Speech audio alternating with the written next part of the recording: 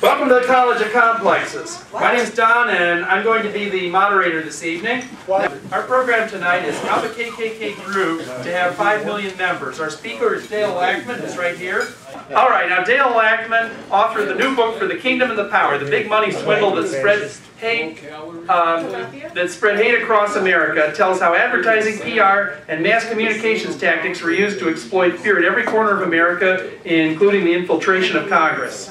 All right, then let's have a warm round of applause for our speaker this evening, Dale Blackman.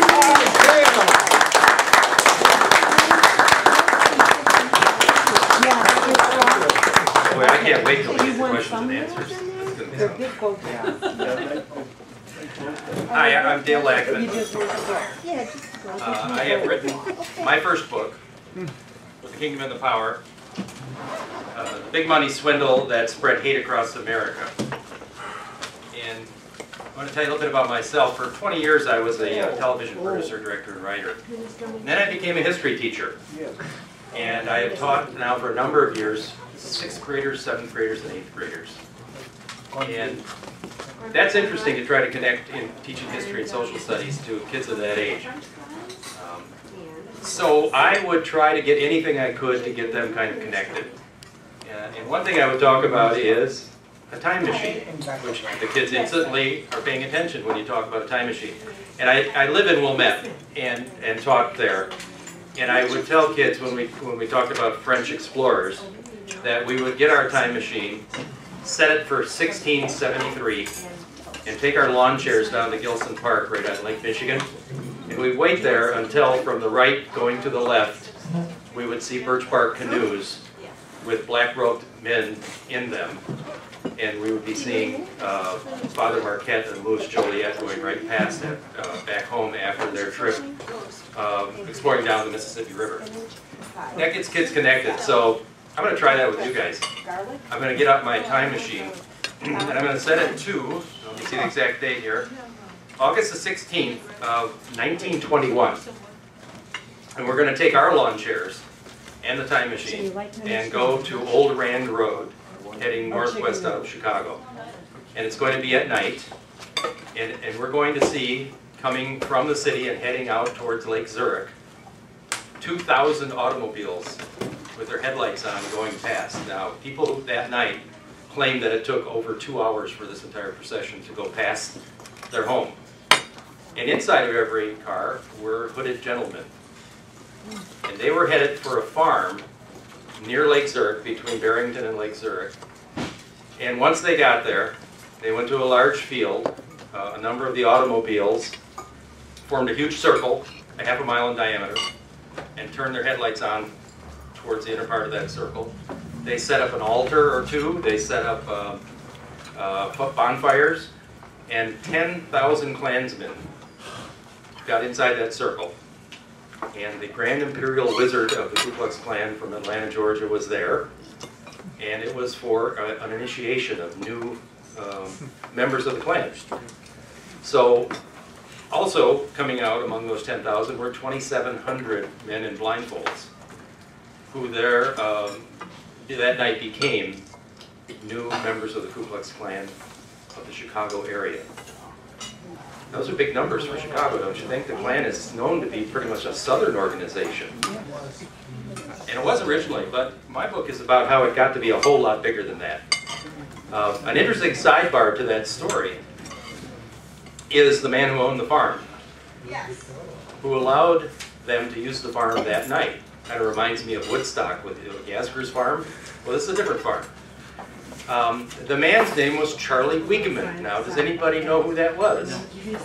Fairly famous Chicagoan. Charlie Weeghman. Any hands? Any hands? Wrigley Field. Yes. Charlie, this is the 100th anniversary of Wrigley Field. Doing, you know, the different uniforms of every decade, they're doing everything about it. Well, Charlie Weeghman built it in 1914. He uh, owned, he was a restaurateur, made a lot of money in Chicago. He actually owned a, I think the Chicago Whales of the Federal League, which went under. Then he bought the Cubs, and he built Wrigley Field and moved them from their other field that they were playing in to Wrigley Field in 1914. I think in 1920 he sold the team to the Wrigley family, and it was renamed Wrigley Field. he was the sponsor of this Klan event in August of 1921. Now, what I read about is that we can't tell if he was exactly a Klan member or more of a Klan sympathizer, but whatever the fact is, he loaned the Klan uh, his farm that night.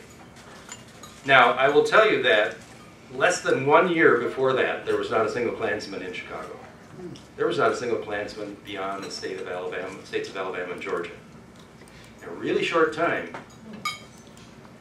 Chicago got organized and a lot of other places in the country. Now, there were Klan events in Oregon, in Kansas, in New Hampshire, and other places. I grew up in Michigan and my brother sent me a couple of articles that the Grand Rapids Press uh, published a couple of years ago.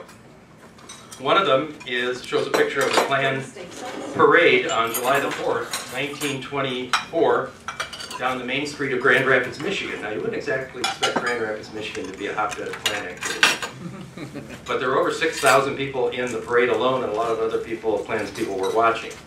So um, the Klan from around Michigan went to Grand Rapids for this big event. Now, um, one year later, there's a picture here of an enormous Klan gathering in Jackson, Michigan, of over 100,000 from clans all around the state of Michigan. And at this particular event, the new Imperial Wizard of the Klan actually appeared at this one. Um, so it just kind of shows you that the Klan isn't the Klan you think about. Um, very few people realize, when I told people that I was working on this story, and things that I miss, I'm sure you're going to ask me in the question and answer. Uh, no one has ever heard this story before. When I told the story about um, some marketing people who grew the Klan to five million people in every state of the Union, they, they look in disbelief, and then the next thing they say is they want to hear the whole story.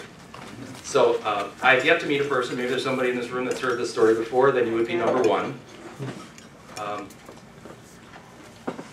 and I want to, I guess I want to fill you in a little bit on, on the history of the Klan. Oh, I have one thing to read, read for you out of the book. Probably the most famous Klan gathering is one that you've seen in history textbooks.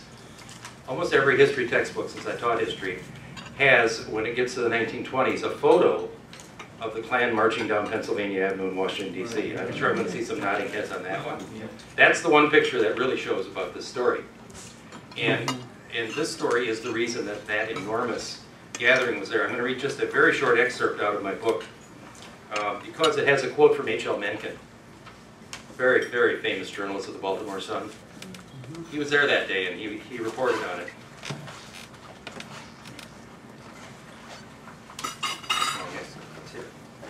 Okay.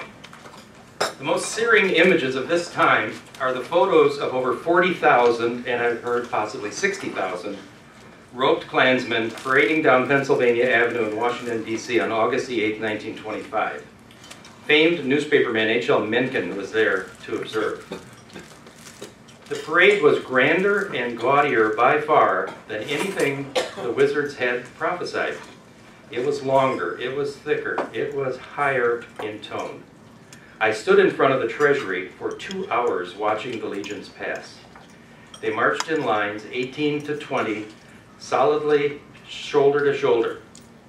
I retired for a refreshment and was gone for an hour. When I got back to Pennsylvania Avenue, it was still a mass of white from the Treasury building to the foot of the Capitol Hill, a full mile of Klansmen. This was quite a spectacle. And the Klan um, also became extremely organized in terms of changing the politics of companies. They, they became so large that they were politically um, powerful in many states in the Union, Indiana probably being the most of all, where they elected the governor and almost half, all of their Right legislature. with you, Mike. And uh, places like Kansas, again. Um, They also tried to influence the presidential election of 1924. Um, I'm going to read here, the Klan and Evans, who was the the wizard at that time, boasted of influencing the 1924 presidential election in favor of Republican Calvin Coolidge. The Democratic National Convention that year was a highly contentious affair. Evans had two objectives, objectives at that convention. He wanted to thwart the nomination of Al Smith, and, uh, and he was Catholic. That's the reason they wanted to. We'll talk about that later. Okay. Yeah, And defeat the plan uh, in the party platform condemning Klan violence. He won on both counts. Smith was a big city Catholic and a vocal critic, critic of prohibition, and the Klan was anti-pro, was very much for prohibition. Um, Evans' backing went to a Klan-friendly Californian named William McAdoo. Chaotic Convention nominated a compromise candidate, John Davis, on the 103rd ballot. Democratic Party was fractured as a result. Many party members fled to liberal third-party candidate Robert La- LaFollette, LaFollette, who's from Wisconsin, I believe. Uh, Conservative Republican Cal Coolidge won in a landslide. When the Klan violence flag was defeated, flag was defeated, 20,000 hooded Klansmen met on a New Jersey field across from the convention headquarters. The gathering was known as the Klanbake. Speakers urged, uh, urged violence against blacks and Catholics and attacked effigies of Al Smith. This must have been quite a spectacle. Okay. So having done all of that, the first line of my book is, this is not a Klan book. It's really about a couple of people instead. But first I want to tell you a little bit about the Klan. The Klan had its beginnings right after the end of the Civil War in Tennessee. And the story is that about four to six young Confederate officers were bored out of their minds. As you can imagine the excitement of battle and the war, and suddenly it's over. Uh, so they decided to uh, make an organization. They were all college men, and they had been in fraternities. So the Greek word for circle is kuklos. So they began the society, and they called themselves a clan. And they decided later to change the, you know, kuklos has a K, clan has a C, so they said, well, you know, for alliteration, we'll have a K for clan as well. So it's the Ku Klux Klan. They started pretty much by terrorizing blacks, um, who were now starting to get rights and the ability to vote and things like that during the Reconstruction in the South. Um, they took uh, great glee in scaring blacks who felt that they were in their sheets the ghosts of Confederate dead. Um, but eventually they became more and more violent. Part of that is because Reconstruction was very tough on the South. Uh, the U.S. Army was there enforcing it. Blacks were now beginning to vote. Um, the life of the Southern white was changing dramatically. They weren't happy about it, so they started to try to control through fear um, and terror uh, the blacks and any whites from the north that were helping them. And they were, uh, there were, there are examples in my book of thousands of people voting in a primary, and by the time it got to the actual vote, only a couple uh, of, of blacks who would have voted against the, the southern ideals. So it got so violent that the U.S. Army actually put it down. Uh, U.S. Grant, uh, they passed a number of laws in Congress, anti-Klan laws, and the, the Army came down and pretty much uh, it put it out of action. Uh, George Armstrong Custer was actually there because they sent the 7th Cavalry. Um, and as it turns out, they didn't really need the Klan anymore at that point because once the U.S. Army left at the end of Reconstruction in 1878, 77.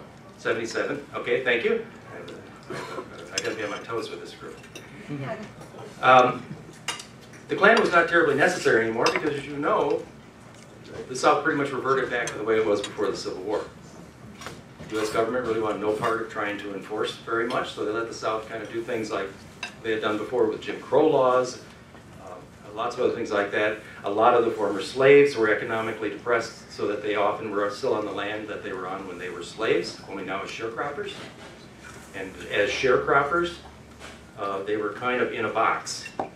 They, they had to give half of their crop away to the white owner of the farm. The white owner set all the prices. If they had to buy things at the, at the store, it was like a company store where all the prices were controlled. And essentially, it was rigged so that, that blacks could never get themselves out of that situation. So, South's a pretty terrible place, and laws were pretty much supporting it down there, so the Klan had gone out of existence. The second Klan is the one I'm talking about. The second Klan started in 1915 on Thanksgiving night on Stone Mountain out just outside of Georgia. It was begun by a former uh, Methodist minister, former fraternal organization organizer named um, William Joseph Simmons. And um, it's a very dramatic ceremony took place on Stone Mountain. Coincided with the movie Birth of the Nation debuting in Atlanta, which is all about the Klan as well. And it was, it was launched, it was back. However, William Joseph Simmons was a terrible organizer. He was a charismatic speaker, but there was no follow-through uh, as, as an organizer. Four years later, by 1919, um, he had mortgaged his house, he had no money, he had two or 3,000 members in Alabama and in Georgia. They were not organized at all. Uh, the Klan was broke and it was about to die. So, how do we get from there to these gigantic um, things that I talked about in the 1920s? well, what happened is really what my story is about. My story is about two people, a man and a woman who owned an ad agency in Atlanta. It was Edward Young Clark and Elizabeth Betsy Tyler. They owned a, uh, a PR ad agency called the Southern Publicity Association. And they were real groundbreakers. There's, there's actually a, a chapter written about them in a history of PR by a college professor. Um, brilliant, groundbreaking breaking people, really forerunners of public relations marketing. This one here? They did a lot of uh, uh, not-for-profit work. They also, their biggest client was the Anti-Saloon League. Anybody heard of that one? That was, uh, I saw Ken Burns speak at the Union League Club uh, a couple years ago. He was uh, talking about the debut of his um, documentary in WTTW on Prohibition. And he mentioned the Anti-Saloon League, and he called it, I think, the largest single-issue uh, lobby in the history of America. They were enormous, and obviously, they were effective. Uh, Bessie and Edward were uh, the PR firm in Atlanta for the Anti-Saloon League. It was their biggest client. Now, when Prohibition happens, that's a really bad deal for Bessie and Edward, because they just lost their biggest client. There's no more need for an Anti-Saloon League. Um, So timing is kind of everything. We have Simmons mortgaging his house, uh, the Klan about to go under. You have Edward and Bessie having just lost their biggest client, and in really dire economic um, stress with their own agency. Well, they decide to take a real risk. They decide um, to take on the Ku Klux Klan as a client. And they, they go to Simmons, they, they, they pitch the, the fact that they could be his propagation department, his membership department. And they sign a contract, a very lucrative one for Edward and Bessie. Um, And they go about setting up a national sales organization. They're really good at this because this is like the golden age of fraternalism. Everybody in America, oh, it seemed almost every man was part of some fraternal organization or another, many of them multiple. Simmons himself was said to have belonged to 10 to 12 uh, of these organizations. It's what people did in those days. And there were two, there were really two types. One was the secret organization like the Klan, and the other one was an insurance organization. And there's still those around as well. Um, basically, they provided benefits for their members. And some of those were also kind of secret. So not only were they providing things like insurance, they were also providing meetings with the fancy costumes and the secret handshakes and, and all the things that people seem to like to do. It's a big deal. It was a big draw. One of the biggest ones then was called Woodmen of the World. Have you heard of it? Yes. Yes, I've heard of them. Um, yeah. They're still around too. Yes, they are. There's a big skyscraper in Omaha, Nebraska, which is like the home of the Woodman Insurance Company. So they're still around. Uh, back in the 1920s, uh, I looked up some research and saw pictures, and they had pretty outlandish costumes. They would they would pose with an axe in their hand because they were cutting down wood, clearing the clearing uh, the place where their families could have security. Uh, there are um, written down uh, sets of rules and, and in their ceremonies, and they're, they're quite lavish, where uh, there's a hierarchy of people, just like a, you know, like the Masons or anything like that. Um, turns out Simmons and Clark were both organizers for this organization, so they were well versed in this type of thing. They were good at it. So what they did is they took the entire United States and split them into, I believe, nine domains. And inside of those domains were states, which they called realms. Um, They put a uh, sales official over each domain and then another one over each realm. And then they sent salespeople out into those areas, they were called Kleagles. And in my book, I talk about everything involving with the Klan started with K. Um, So these Kleagles would go out and they would um, go to, go to various towns, set up, set up shop there and start talking to people. Um, A lot of them uh, were people already in fraternal organizations. And as I'll talk about a little later, they tried to find out really what was bothering uh, people in those towns, and then the Klan would say, we're, we're also bothered by that, and we're with you. And, um, and a lot of it had to do uh, by finding the local minister and getting him involved. And what would happen is, this is called single level marketing, where if that Kleagle would find somebody who wanted to join the Klan, they had the power to sign them up that day and collect a $10 membership fee. You know, I think in 1920, that's about $125 in today's money. And they would immediately take 40% of that. It was a four, uh, $4 cut they immediately took and put in their pocket. I saw, um, was looking something up today, and they said that uh, the job of Kleagle in the 1920s was- one of the better paying jobs in America at that point because the money was just flowing into their pockets. And I'll talk about why they were so successful. They would take the, the, the remaining six dollars and ship it to their head of the realm, who would take, I think, a dollar, who, a dollar and a half. And he would send it on to the guy over the domain, who would take a dollar. And they would send the remaining four dollars back to Atlanta.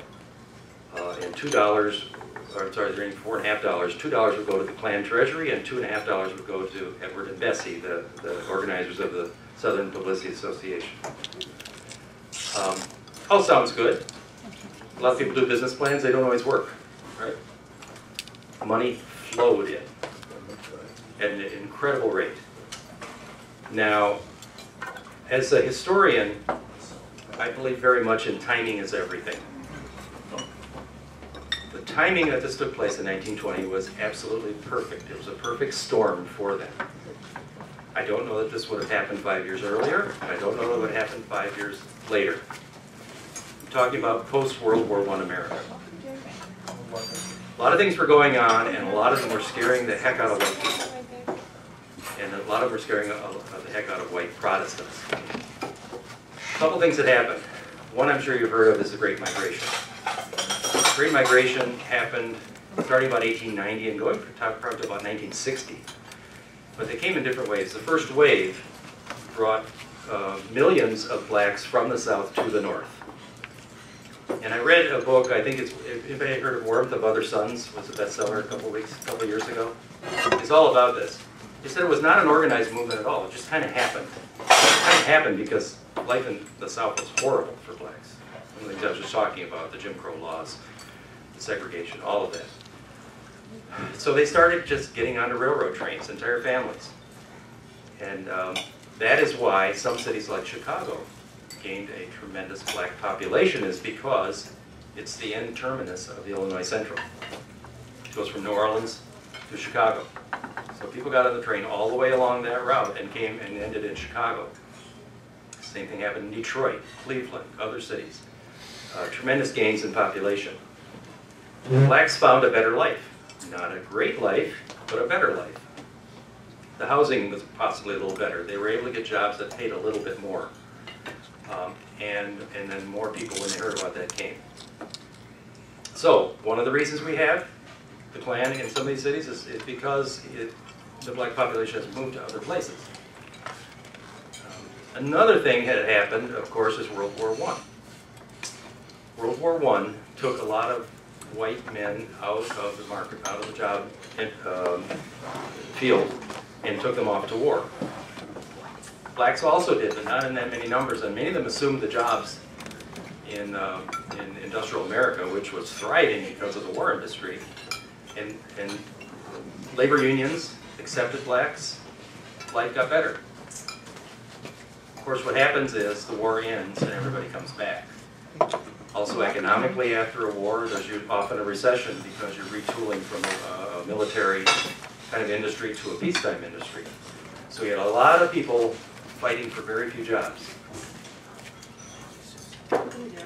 And you also had immigrants coming into America. For perhaps six years or so, there had been no immigrants coming into America because of World War One.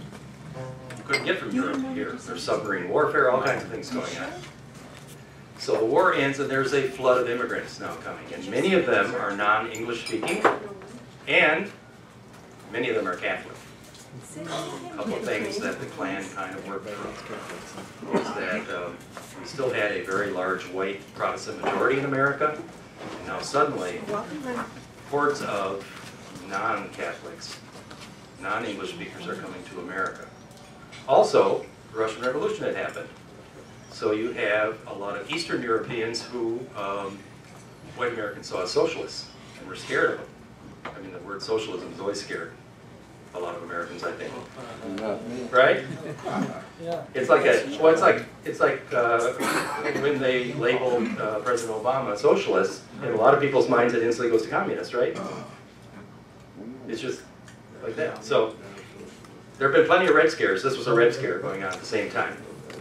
You have all these things happening. Um, a lot of unemployment. And has anybody heard of the Red Summer of 1919? Okay. Did anybody see last week's Tribune? They do these nice Chicago flashbacks. Have you seen these? Where they go back and they go back in the Tribune archives.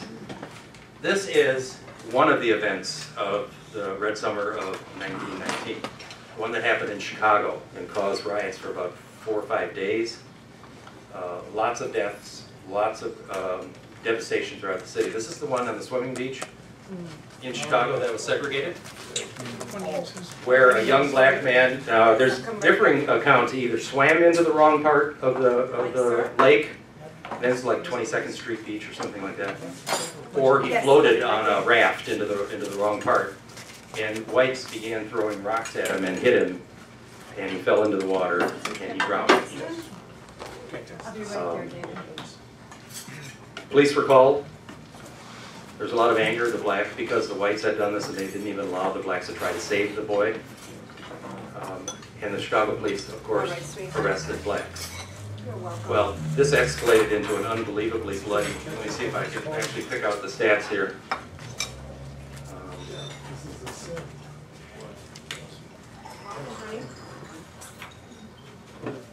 yeah, I should have highlighted, but um, hundreds of people died, thousands of people lost their homes over a, a period of time. This was one of 25 at least incidents in cities all over the United States, geographically diverse everywhere in America. There were bloody riots, including Washington DC, um, throughout the summer. And these are blacks fighting back. I, I talked in my book about 10 years earlier, in 1910, after the Great White Hope fight with um, uh, Johnson? Johnson and Jeffries, uh, that when, when Johnson won, blacks began to celebrate because he had done a wonderful thing, and, and whites viciously attacked them and blacks ran. And 10 years later, the reaction was different. There was, there was a fight back.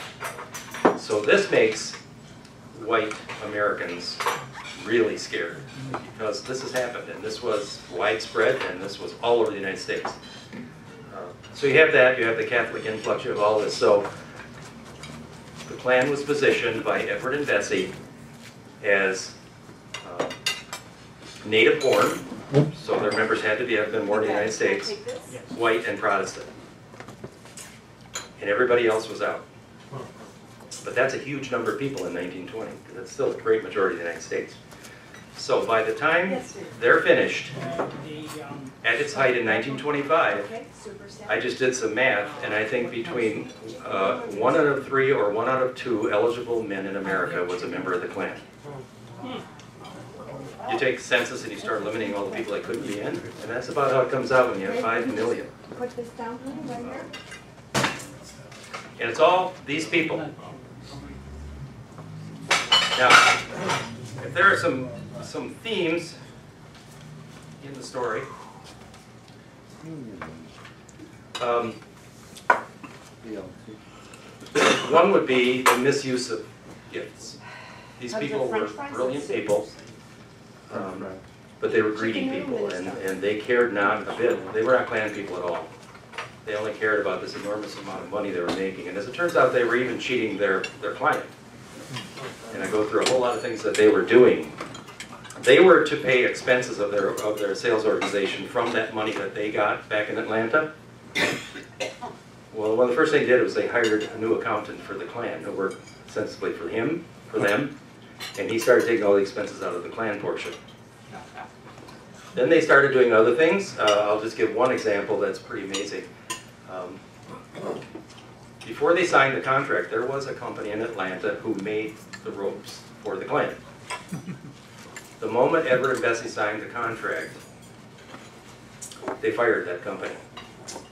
And they hired a new company, and I looked up, they formed that, that, that new company was formed the day after the contract was signed. Uh, it was called Gate City Manufacturing, and there were a lot, uh, a man and a woman were listed as the owners. Well, it was Edward and Bessie. They were, they were making the ropes very inexpensive, selling them at a profit to the Klan, and then selling them to the members uh, at a commission. And they went on and on in what they did. So they were, it was bad enough that contractually they were doing a job that they were supposed to do, but they were uh, illegally, unethically, doing a whole lot of other things just to- to amass this enormous fortune. They do eventually get outed. Um, One of the first things that hap, uh, one of the things that happens is, uh, the New York World newspaper does a twenty-seven straight day front page expose of them uh, in 1921. Actually, only about three weeks, this begins only about three weeks after this big uh, thing I I talked about in uh, in Lake Zurich. Surprising. And that wins one of the first Pulitzer Prizes in investigative journalism. They go to the halls of Congress, and, and it's, it's really a fascinating story about what happens to them. They start losing their grip, and Bessie, and- and Bessie actually leaves to, to go to California. Uh, she has a son or a daughter who has tuberculosis, and she's going there to, uh, to get treatment. But the, the word is that in her, in her luggage, she had eight hundred thousand dollars when she left. In today's money, that's almost ten million dollars.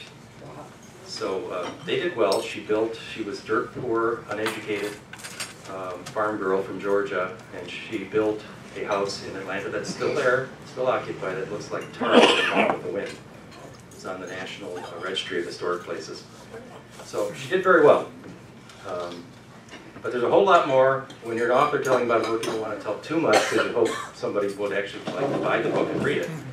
Um, So I believe I should stop there because I think you're going to have a lot of great questions. And I actually enjoy having um, a question and answer because I want to know what you're interested in. All right.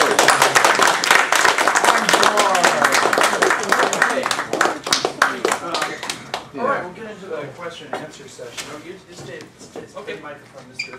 uh, Mr. Laackman. I, um, all right, now, all right, let's see now, who's got a question? I just want to remind everybody that all questions must end with a question mark. So, um, okay, let's start with you, Gene, go ahead. Well, of course, the obvious question is, uh, how much is your book and how, how can we get one? There we go, he likes that question. Uh, It's twenty-five dollars. No dessert, please. All right. um, And all you right. can get them here, you can get them in Barnes and Noble, and you get Amazon, and, Okay. but, but I'd like to buy Thank it. I brought some tonight. Okay, okay. All right, Sid, did you have a question? Yeah, at that time, I think it was nineteen nineteen, there were the Palmer Yes, there were. People, people from foreign countries, they shipped them back to Russia or wherever they came from, and there was a hysteria uh, because of the Bolshevik Revolution. Yes. Now, what did that have to do with the thing that you're talking about? Yeah, there, there, there definitely was a Red Scare. I mean, history's kind of cyclical, because that happened in the early fifties as well, with the McCarthy era, right? So, it, it's very cyclical. Um, The, these people, um, seized upon that, and they said the Klan was Take one anti-socialist. for Donna. So, These are all they were very much against socialism, that's what they preached their salesmen to say. This makes them- So again, what they were doing is making a little closed society, actually a large closed society, of white Protestants. And, um, I was gonna say something else, but, uh, Take one for Rivers. Okay, Okay, I have a question. It's sort of a follow-up the, to what's Sid's question. Sure. what did you have. The Klan was Number one? also Louder, Don. pretty anti-Semitic too. Absolutely. And, and didn't they tend to, didn't they tend to assume that Jews were always responsible for Yeah, you know socialism? what I'm uh, and, and Come on. blame socialism on Jews. and Say, oh, we got, if we kept the Jewish immigrants out, we wouldn't have a socialism. I'm not sure if they did that specifically, but I think a lot of the Eastern Europeans who came at that time were Jews and were associated with the Bolshevik Revolution. I mean, I think they just, they, they pretty much were good at just broadly labeling people. So anybody coming from Eastern Europe was pretty scary to them at that point because of socialism, which at that point was brand new and very, very scary, I think. It only, the revolution happened in 1917, right? Yeah. Yeah, so this is only three years, and they have no idea what this thing out there is. A couple out of that, I think, a number of them were Jewish immigrants at that point, so they kind of tied it all together, I think. But yes, anti-Semitic definitely, anti- anti-Catholic, anti-Asian, anti, just about everything. Okay, uh, Karina, did you have a question? Um, the, the thing I've been curious about is Indiana uh, almost being south of, really, Indiana is, is south of Florida. I mean, it's, it's just, why has the Klan had more staying power uh, in Indiana? I mean, one rumor is that their headquarters are in Muncie. Um, Me now? yeah, or, yeah. Um, I, I can talk later about the Klan today, but uh, part of, one of the reasons I think it was so strong in Indiana was the leader of the Indiana Klan, a guy named D.C. Stephenson, who got into a lot of trouble uh, and went to jail for a murder of a woman. But he controlled, in, Indiana and was also given about seven or eight other Midwestern states. But he was very proud of the fact that he can, he had uh, total control in Indiana, and many of the elected officials, including the governor, were Klansmen.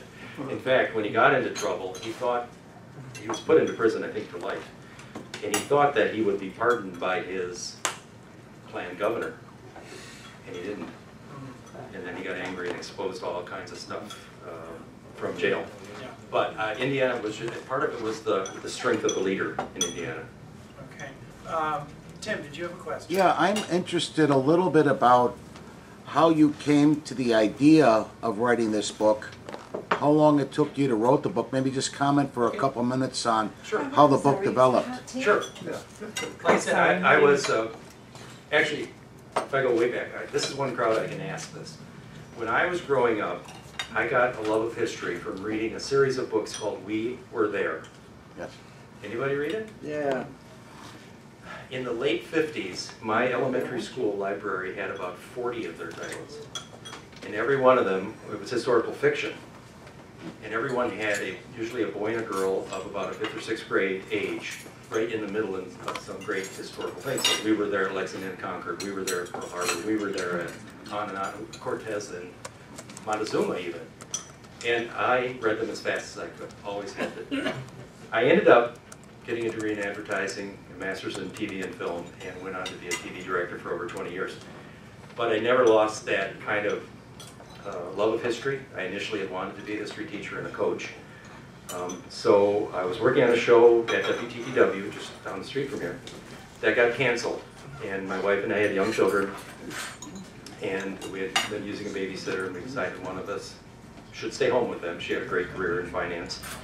Uh, So I stayed home, and by the time they got to school full-time, I decided to become a history teacher. And I went to Northeastern Illinois, also right down the block. Uh, And I was in a class on uh, ethnic history. And each, each lecture focused on a different ethnic group as they came to America. So there was an Irish one, there was a German one, there was a Polish one. Uh, On the, on the lectures on African Americans, the professor got to this point and mentioned this story in two sentences, and actually got the names of the two people switched. And pretty much he said, this man and woman, Let me know when you're ready for this. Clarke and Tyler, um, helped recruit Klans people, and they also had an affair. And uh, kind of interesting. So I filed it, and eventually, a couple weeks later, started researching it in the college library, and found that it was much, much more than I thought it was. That it was of huge national importance, and that's how I did the story. I began, I wrote it first as a screenplay, because in my background in radio and TV, or TV and film, I thought more visually and in dialogue than I did. I didn't know I could write a book like this. Uh, And I didn't, it didn't sell. I think a lot of it is, uh, that's a lot of money to put into the budget of a film about the Klan because who knows what kind of box office you're gonna get. You don't see many, many films about the Klan when you gotta spend fifty, hundred million dollars to make a film. But I finally got to an important producer on the West Coast who said, really well written, great story, it's a book. So I started thinking more, and as I get, I did deeper research into what would be a book, I found far more than I ever had in the screenplay. And the story got better and better and better. Um, Probably took me a couple of years to write, it took me a couple more years to find a publisher. Okay. All right, any, any other Oh, I'm questions? sorry. Bill, oh, no, oh, did you have more to say? No, no, I, Okay, I Bill, actually did you have like, question? like a Yeah, school teacher, about- I was calling on people. Okay, Bill, go ahead. Yeah, what about, uh, American Nazis? We had one here in town that thought, he, you know, he said he thought he was an American. And that's why he left the Nazi party. Okay. And, uh, he gave a pretty fair-to-middle speech here, uh, at the college about a year ago about uh, war crimes in Iraq. Mhm.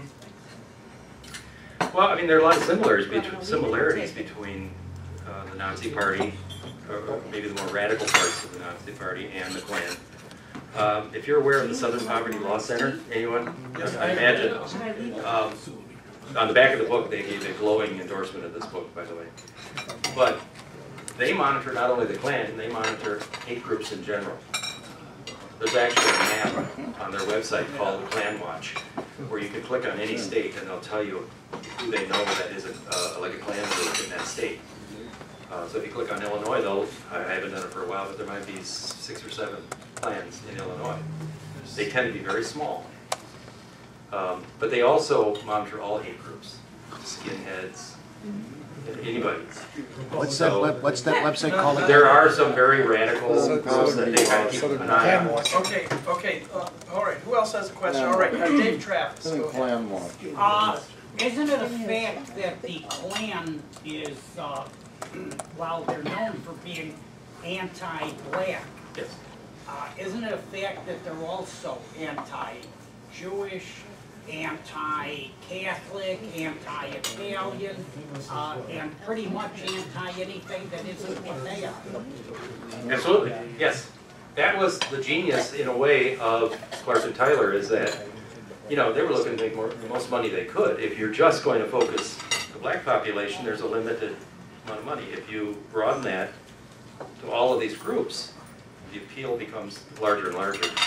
Um, It's interesting, I just got an email from a friend of mine who's a, um, a dean at the University of Iowa. And she forwarded to me an article, I don't know, just very recently, of a Klan group spreading uh, leaflets around um, on Long Island in New York City, you know, outside of New York City. And they, they put a flyer, a really cheaply produced flyer, in sandwich bags and put candy in it to keep it from blowing away and threw it on people's driveways. And one of the big things they were talking about was anti-immigration right now. Because again, these are not white Protestants, you know, the- their immigration's coming in, you know, so they had uh, illustration of a, a- a Latin person, a Spanish person. So, again, it's all that same basic uh, message that they have. Yes. Oh, I'm sorry. I- I- I'm sorry, I'm a school teacher, I'm used to calling on Okay, people. okay, okay, just a moment, let me, let me call on people. Uh, Sure. Dave Zucker, go ahead. Yes. Were you aware that about twenty years ago, there was a made-for-TV movie about David Stevens, about D.C. Stephenson? No, no, I didn't, I should look that up. Yes. He was a Uh, bad guy. Yeah, I, I saw that made-for-TV movie, by the way. Um, He took a young woman yeah. uh, across state lines uh, and brutally murdered her. And they said even was gnawing at her like a dog. Uh, she wasn't quite dead, so he had his, his aides drag her to her parents' doorstep where she died. Um, and uh, you know he was found guilty and thrown in jail. Yeah. She committed suicide. That's right. Okay. You can't picture it wrong. You're right. Right, right, now she. You're right, she did. Yeah, She was- yeah, yeah, and, uh, and, all right, now, um, all right, uh, Hugh, sir, Yeah. did you have a question? Do you have, do you find that the Klan normally appeals to people with poor socioeconomic bracket? Uh, I mean, people were well, uh, Klan, people people are in the working class rather than upper middle class type of people. Who are Klan members? Yeah. I haven't done a, a lot of research, but my feeling is that they are lower educated, lower income whites. Yeah. Um, I don't find a whole lot of intellectual, uh, highly educated members of the Klan. I'm sure there are some. Don't talk to be very few Klan members in Wilmette, All right. right? All right. In, in where? In Wilmette. You know what's interesting though, is I, I have a book called The Klan in the City, 1915 to 1930, by a guy named Jackson, written in the 60s. And he claims Wilmette had a Klan. As did Waukegan, as did Orland Park, Tinley Park, and many in Chicago. Okay. So it really spread. All right, I, if I could say in answer to this gentleman's question, you know, I've done research on the Klan myself, and um, the, most of the rank and file do tend to come from the working classes, but the leaders of the Klan and other uh, racist groups have tr- uh, have traditionally been college-educated, um, upper-middle-class people. Um, And that is true, that was true in the Reconstruction era, as you mentioned, the founders were all college-educated men and were officer, former officers, and that is true today about the racist organizations today as well. Yeah, let me follow up on that, that um, in the heyday of the Klan that I'm talking about, there were lots of uh, more educated people because the Klan influenced a lot of uh, police departments, judges, um, the higher levels of society, because the numbers were so enormous. I don't find that today. So let me ask this question, I'm just gonna tell you, I- the Southern Poverty Law Center claims that in the entire United States, there are around 5,000 Klansmen. Yeah. And they're all in small, tiny Klans of maybe 20 or 30, and none of them talk to each other. The, the Klan I'm talking about was a centrally located 5 million out of Atlanta. This is tiny amount not talking to each other. Yeah. Okay, um, did did you, sir, you had your hand up earlier, did you have a question? Woodrow Wilson was a great uh, academician and uh, then a president. And he and his cabinet supposedly watched the movie uh, The Birth of a Nation. It's in my book, yes. really? Woodrow A- And his comment was what? The greatest movie he ever seen? Um, he said something, it, it is, it is so amazingly true, something, it's in, I, the exact quote, it would take me a second to find. Woodrow Wilson has got this great reputation as an academic, president of Princeton, um, as the guy who kept us out of war, and in his, in his, um, second administration, we got into war, he was the man who saved the world for democracy, he had all of these positives, but he was, by many accounts, an out-and-out racist. He, uh, when he was working uh, in Washington DC, he actually segregated all of the uh, federal workers in Washington DC, which had not happened before. Previous presidents, it was integrated. Um, He supposedly told darky jokes in cabinet meetings. I mean, this is taken from a book, um, called, a wonderful book called Lies My Teacher Told Me. Um, Talks about, about Wilson. But yeah, he he really was um, a southern racist. When he was president of Princeton, it was the only college in the north that uh, did not allow blacks. Yeah, um, that, that was the only one of the Ivy League colleges, I think, that didn't allow. Was it the only college actually in the North? Well, that's what- that's what Okay, that's, okay, never mind. Yeah. Okay, I, um, all right, yeah, and I, uh, I can tell you what the quote is, he said it is, because I remember it, is- it is like writing history with lightning. That's it. And, and, and, the- and then my only regret is that it is also terribly true. That was what he said about the pro-Klan movie, Birth of a Nation. And Wilson was a college, uh, uh, President. He was a, he was, had He a was a- history. He was a, uh, a college roommate of the man who wrote the play that the movie was based on. Thank Uh, you. I thought it was a novel. Dixon. Thank you. Uh, it's a novel made into a very Oh, it was made popular into a play. play. Okay. Yes. Wasn't it the Called first talk? Wasn't that the first talkie? Matt? No, no, no, No. no, So it was Birth of the a first- Nation is a, si- I've seen Birth of a Nation, it's a silent movie. It's nineteen fifteen, the first talkie's 1915. nineteen twenty-nine. Oh, Twenty-seven. okay. Ellen, Twenty-seven, Uh, first talkie. First for Streets- something. Okay, the first talkie was the jazz singer, nineteen forty-seven. The first talkie was a half talkie, Oh, really? like Streets of It New was York, first the something like that. Okay, There all was right, some- one I haven't fool at asked a for time. film. All right, one, one fool at a time, okay. Oh, ma'am, did you have a question? I had two questions. One was, how did the decline curve look from five million to today? Interestingly, um, that peak that happened when that tremendous march went down in Washington was the peak at five million. Uh, By the end of the decade, it was down to like thirty thousand. it fell off dramatically, partially because of DC Stephenson, because of the horrible scandals of his scandal plus many others that were financial scandals by the leaders of the Klan. Um, So precipitous fall off after 1925. All right, um, all right. Uh, Dave, did you, have a que- did you, did I get, call on you already or no? No. No, okay, go ahead, Dave. I found your, the survey of the early history of the Klan very interesting.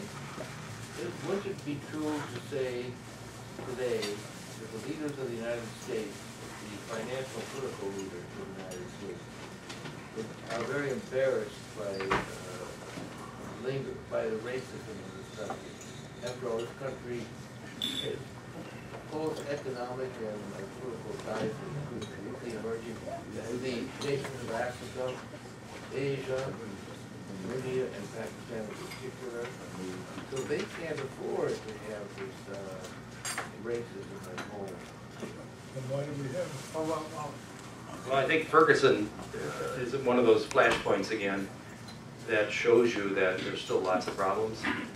Uh, One thing, if you study history long enough, is that it repeats itself, and things like bigotry, bias, and hate really never go away. It's always in society somewhere. We're hopefully getting better at it, but there's still a lot of lingering. in I know, I understand that the, the tip of the iceberg, you know, about the, uh, you know, they got undue segregation in the South, came when the Indian ambassador to the United States was ordered out of the, uh, white waiting, waiting room in Houston airport, is that correct? I, I didn't hear all of that. The, the leaders of this country got their, you know, got their brains about them, they're not fools by any means. Realize that racism has to go, blatant racism has to go.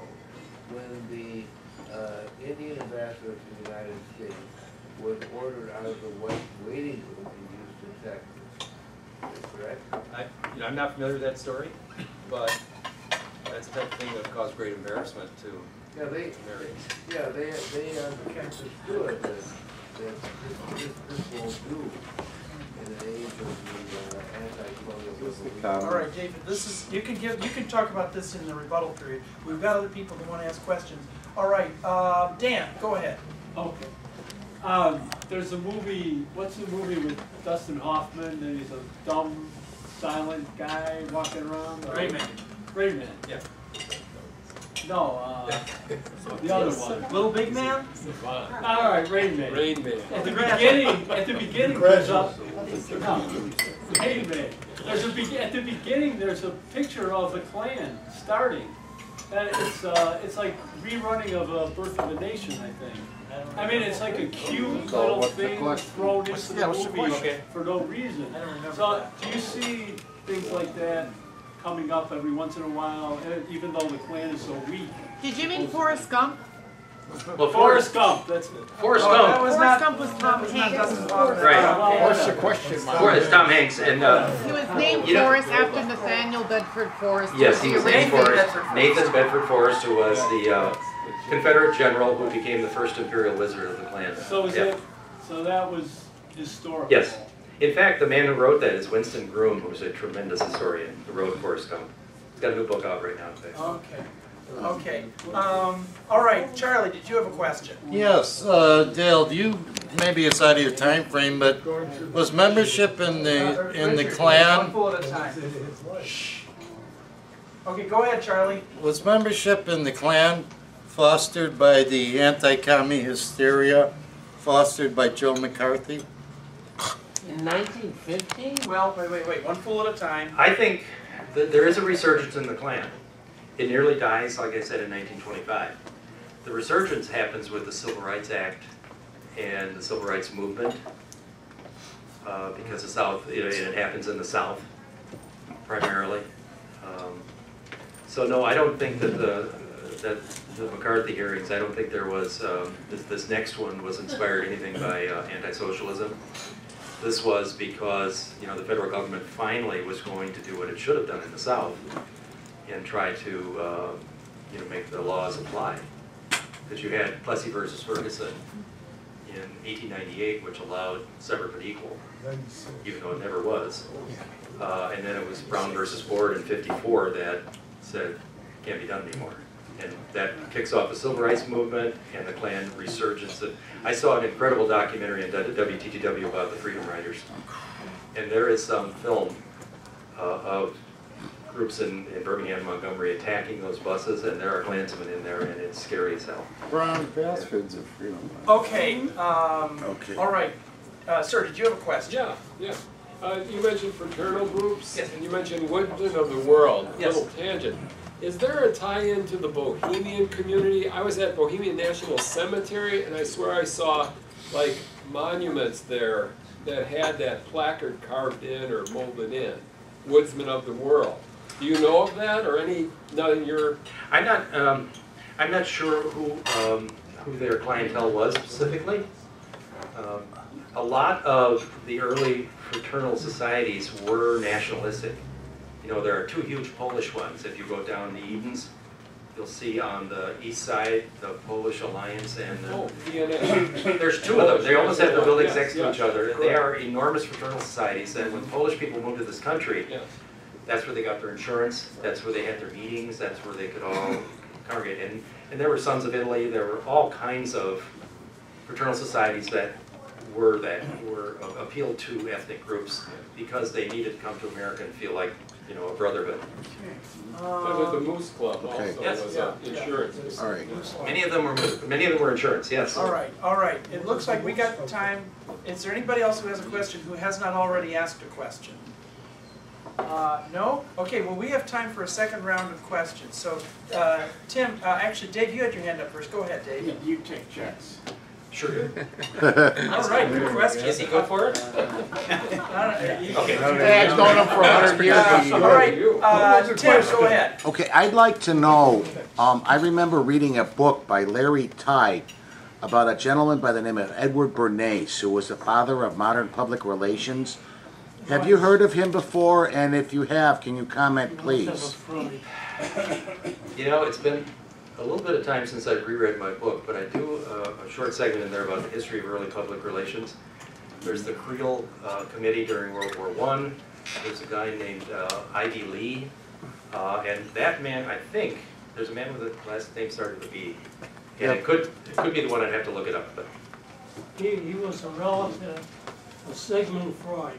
Okay. oh, okay. All right, uh, Brom, you had your hand up. Did you have a question? Um, no, I have an announcement, but that's what. Okay, you can Okay. do that in the rebuttal time. Uh, Cor- okay, Carino, did you have a question? I was in Seville, Spain during Easter, and the Catholics were contrite, and they wore what really was a Ku Klux Klan outfit, except it was blue. Yeah. And then after once, after Good Friday, it was white because they were cleansed of their sins. Do you know the origins of, of the whole ca- Klan outfit, or that? Not really. I have to tell you a funny thing the other day. My wife and I were downtown. It was actually during Lollapalooza. And it was raining a bit uh, Michigan Avenue. And we were standing under a canopy, and one of those double-decker tour buses came by, and there were a lot of tourists on the top part where there was no cover. And they had handed out ponchos, which looked, and they were white. And I said to my wife, there's a Klan convention in town. It was unbelievable that it was a pointed top and the whole thing. Okay. Uh, but I could, I could talk a little bit about that. The, um, I, I'm not sure how the, the classic one evolved, but uh, I talk about something called the Mary Phagan and the Leo Frank story, uh, happened in 1914. You, you should write my book, you know all this stuff. Um, And uh, the people, this, Leo Frank was a, a Jewish uh, manager of a factory in, in, in Atlanta, and this little 14-year-old girl was working there came to get her paycheck one day. She was brutally raped and murdered. They accused Leo Frank. Uh, he was Northern and Jewish, so he wasn't very well liked down there, and uh, they assumed he was guilty. He was found to be guilty. Uh, the governor stayed his execution and put him in a prison farm, but a bunch of guys from the little girl's hometown of Marietta drove across the state in the middle of the night, took him out of jail, took him back to Marietta, and hung him. Those men were wearing masks, and they, many of them became some of those early recruits to Simmons, uh, uh, like a, less than a year later on Stone Mountain.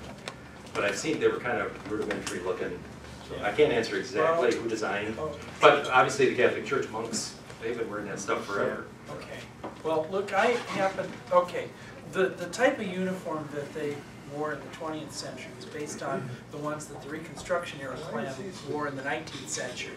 Uh, they wore outfits that were similar, they varied from one, from one Klan group to another, but they had the same basic look.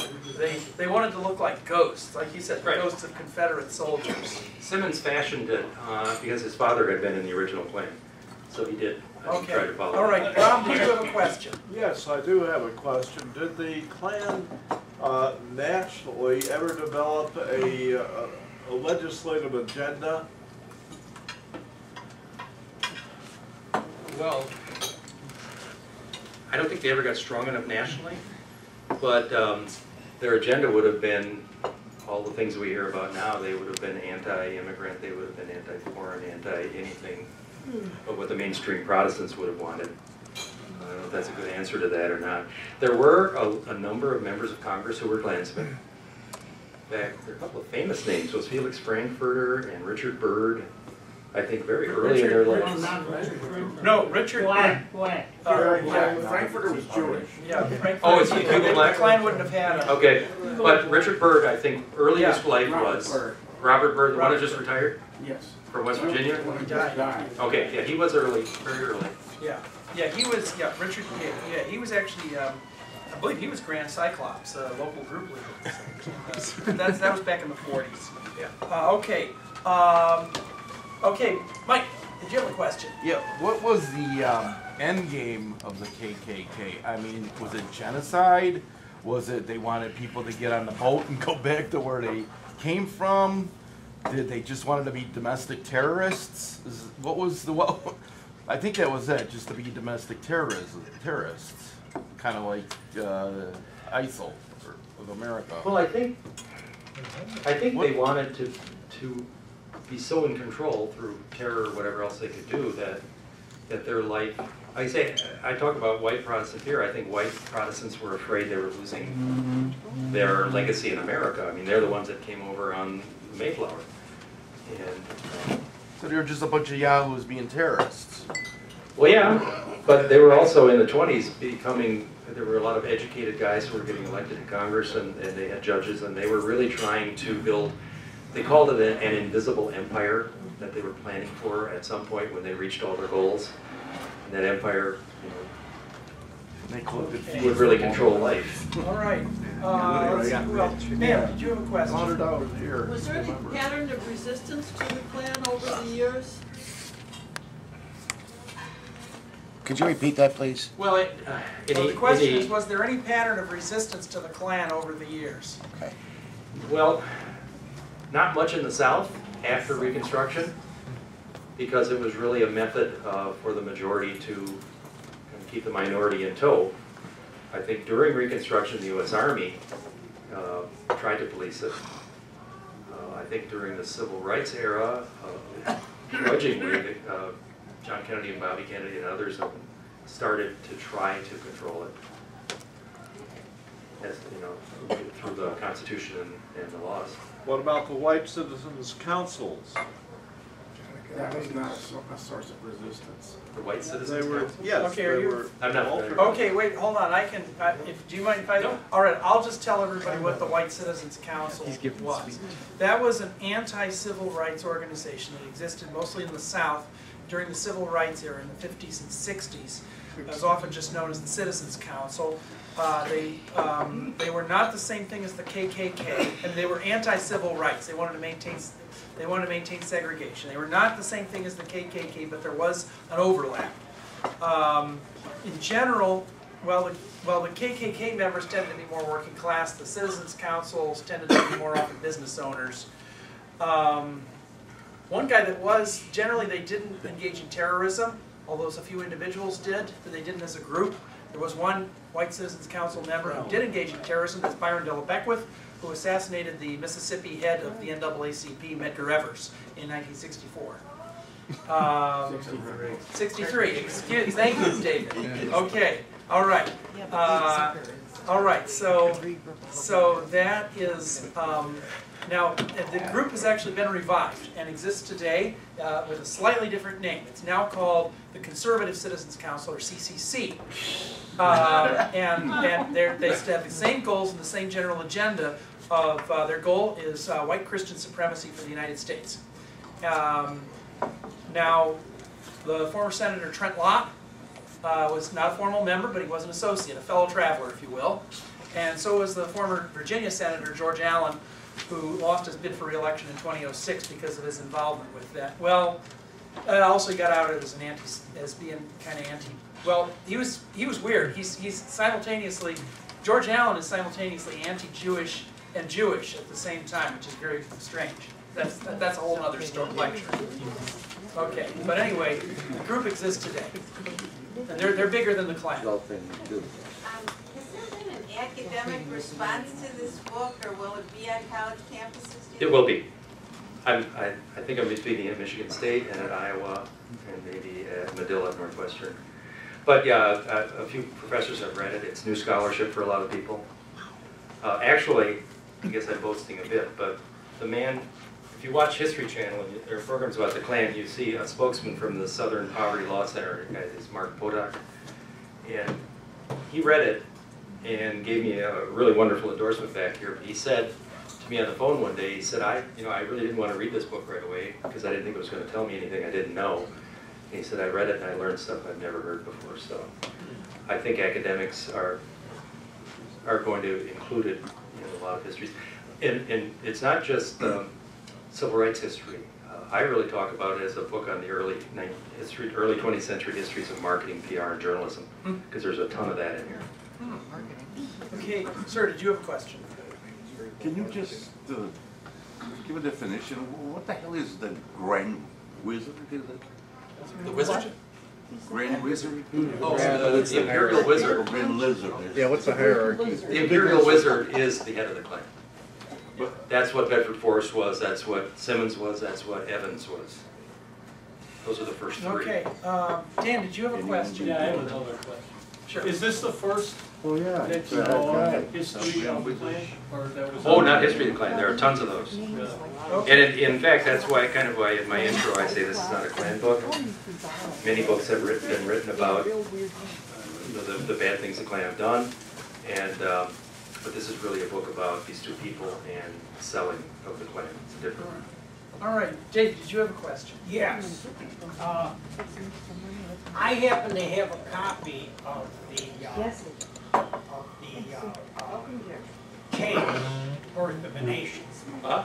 And the message of that seems to be that the, uh, uh, that the Klan came about as an answer to uh, the, re the, the government's reconstructionist. Oh, yes. Yes, and, and the, the book portrays the people that come down, the, the whites who come down from the north to run, and blacks who have, be, you know, are being given much more freedom as being really bad people. The real villains of the story uh, are uh, a man portraying Thaddeus Stevenson, who was the Reconstructionist. Thaddeus Stevens. Stevens, boy, yeah. Um, he is in the he's in the movie, and then uh, members of the Reconstructionist government are are painted in a bad way. Now I have to defend D.W. Griffith. I have a master's in film, and this is one of the, the groundbreaking films of all times in terms of what he did compared to what had ever been done before in film. It's a brilliant film. It's just kind of a bad subject matter. Didn't One of the reasons he did it is he wanted to do a grand, long-form scale movie and he wanted to portray Civil War battles. And he did that. The first part of it has Civil War battles and all of it. So, but he, he had techniques that had never been done before and are absolutely brilliant. So, but he was a Southerner. His father had been a Confederate officer. He was from Kentucky. Okay. Uh, does anybody else have any? Yes, Joe. Would you tell us more about the, the current situation in the Klan? Um, I don't think there is much of a current situation. I think they're a very small group that really doesn't affect very much. Um, I told you about the, the, the little sandwich baggy messages. I thought I heard that same thing happening in the Chicago area within the last year and a half in like a southwestern suburb. Same thing. people just notice these little messages. I hear, I see somebody nodding ahead. I think it did. People just found on their driveways a message, you know, that kind of stuff. I think Tinley Park, you know. It might have been that area. Somewhere like what Yeah. you said. it- it- yeah, So, I mean, they're, they're around, but they're pretty benign. Uh, you don't hear much in the news about them. I worked at a TV station in Columbus, Ohio back in the seventies. And they held a rally on the steps of the Ohio, uh, State Capitol. And, uh, we had one of our TV cameramen covering it, and you see his video, and a fight broke out, and he got hit by something, and and uh, he was knocked out, and there was a fight on the steps of the Ohio. But that's an unusual. Wow, what, what, when was, when did this In the seventies, Oh, Columbus. I think I've seen I that remember video. You did that? I, I wasn't, no, my station did. I, our cameraman was there, and he's the one. I've seen the video. I think I saw that. Okay, um, okay, uh, Brom, do you have Yes, another uh, question? Is there any overlap with the uh, Dominionist uh, movement uh, in uh, Pentecostal and uh, o- other uh, Um, religious connection? churches? I haven't really thought about this question, but I think a lot of the far-right um, Protestant church, the super conservative groups, might have some feelings like the Klan have. I mean, they're, I think that they're so far right, um, some of the evangelical churches that, uh, I don't know, that I haven't really thought about a religious element to it. Of course, there was a religious element to the, this Klan I'm talking about. Yeah. Very, they, they were raising the standard of Christianity and, and. uh, Good for them. All right, Charlie, did you have a question? Yeah, uh, Dale, did the Know Nothing group give the Klan a little rivalry, or? That's in my book too. The Know Nothings are in my book. The Know Nothings preceded the Klan. I talk about, I talk about them in, in uh, terms of anti-Catholicism. I talk about the history of anti-Catholicism in America, and the Know Nothings and the American Protective Society and others are all in there. I talk about riots in New York City and in Philadelphia in the 1700s, 1800s, Louisville, Kentucky. Anti-Catholicism was uh, really severe until tremendous number of immigrants come and it kind of balances Catholics out a little bit. But early America, you know, there were probably less than 10% Catholics in early America. Um, Almost exclusive, and, and the the Protestants that came to America were escaping um, Catholicism in Europe. They, they were Puritans, they wanted to be pure of anything Catholic. Oh. So they're here, and then when Catholics come, they are really anti-Catholic. And they feel that they can't be Americans because they're not really loyal to the president, they're loyal to the Pope. Okay, I got a question. Okay, Karina, did you have a question? Uh, I had two quick questions. Number one, can a Klansman be a Mason? Um, Maybe, I don't know, I, you know, I've never been a member of any society, and the Masons are kind of a thing on their own, I mean, I'm, they're a fascinating group, I don't know if they would allow anybody in or not. Uh, the other question was, uh, sometimes I, I have seen of the flyer, it's a contour drawing of a Klansman, and it's put in ghettos, and, um, I applaud what you guys are doing, go ahead and kill each other, um, you're doing exactly everything according to my plan. Um, have, do you know anything about the origin of those flyers? I don't. Um, Interesting, you know, maybe this connects to that or not, interesting fact, and I didn't put it in my book. There's a period of time when Edward, of this pair, Edward Clarke, is actually running the Klan. Part of the deal in his contract is he became like the number two or three guy in the Klan. Well, they get rid of Simmons because they control, completely control him, and he takes over.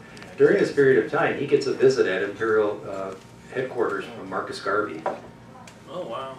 who was a guy who really wanted separate, separation of the races, even to going back to Africa.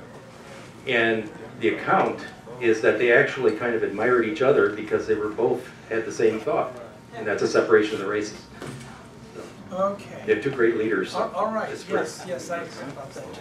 Um, all right, um, all right. W- Dan, you have another question? Another question. Okay. I actually, well, I know something about, uh, there was a Jewish Zionist who went to see Hitler's representative in Berlin in nineteen thirty, so it's similar to Garvey talking to the Klan.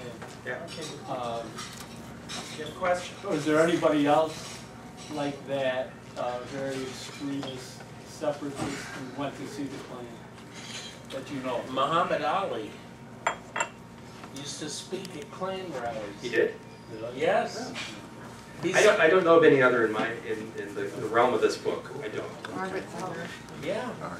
because uh, the Muslims support the separation of the races.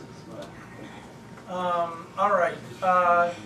Bram's all right, got one you more, I think. All right, anybody, have- Well, did yeah. anybody else have a question? Brom? Yeah, in the nineteen thirties, the Kaufmanists and, uh, Father Kaufman and, uh, and th- there were a number of, of national groups, uh, of both German and Italian, uh, who, uh, were, and for that matter, other nationalities as well, uh, who were more or less supportive of fascism uh, and,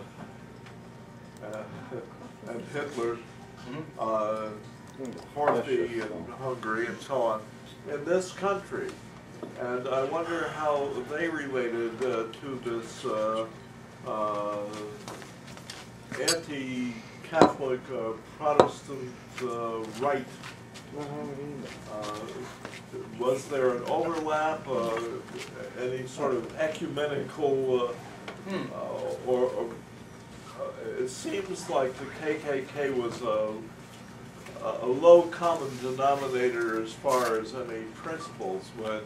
uh, Yeah, I don't know if any of them line themselves with the Ku Klux Klan, but I think there have been some leaders in America who have surprised us by their ideology, and I think of uh, Lindbergh and Henry Ford as uh, the ones who were, pre-World War II, were kind of supportive of what was going on in Germany.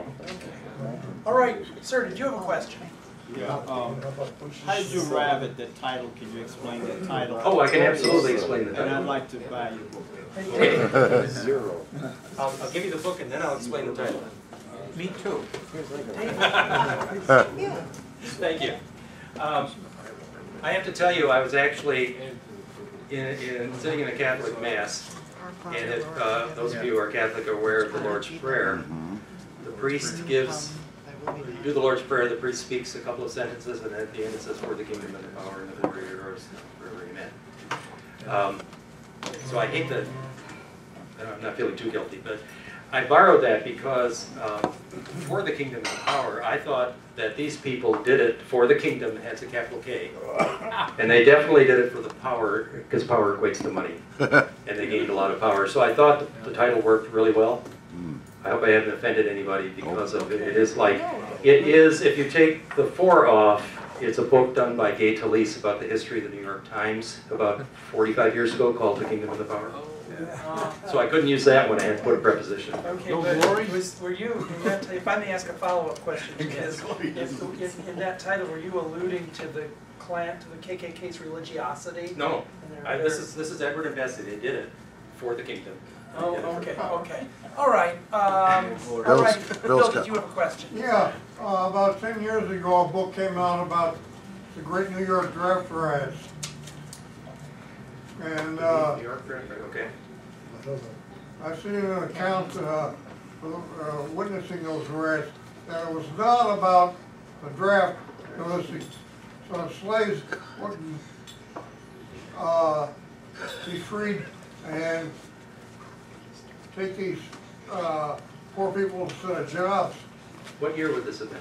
Sixty-three, eighteen. Is that what it, what it's talking about? About eighteen sixty-three.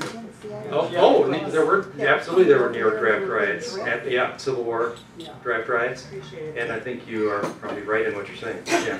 Okay. I have not read the book, All but right. that, that, that happened. All Be a right, last- now listen. last uh, question. Tim, did you have a question, or? Yes, Okay. uh, and I hope it'll be the last one because we have to get to rebuttals. Yeah, I just want to ask you, the book's just been published. You're now on tour with the book and you're pu- publicizing it. What might be your next project or have you considered it yet? I have a book in mind. none of you steal it now, because that's. It has to do with the Philippines insurrection, Ah. which is 1899 to 1902. It's like Vietnam, Vietnam 60 years before Vietnam. And it's, it's a, it's a war that history books, I'm a history teacher, so I know that history books cover the Spanish-American War and they jump to World War One. And this thing was much bigger than the Spanish-American War, much longer, much more brutal. Really? Um, and there's an interesting court-martial of a Marine general that I'm. Never, never heard of it. Chicken and stone.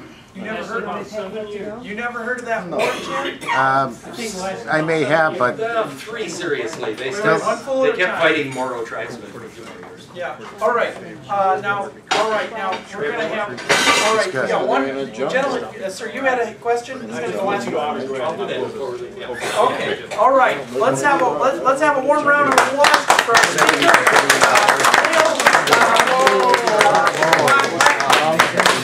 All right, now, we're gonna get into the rebuttal period.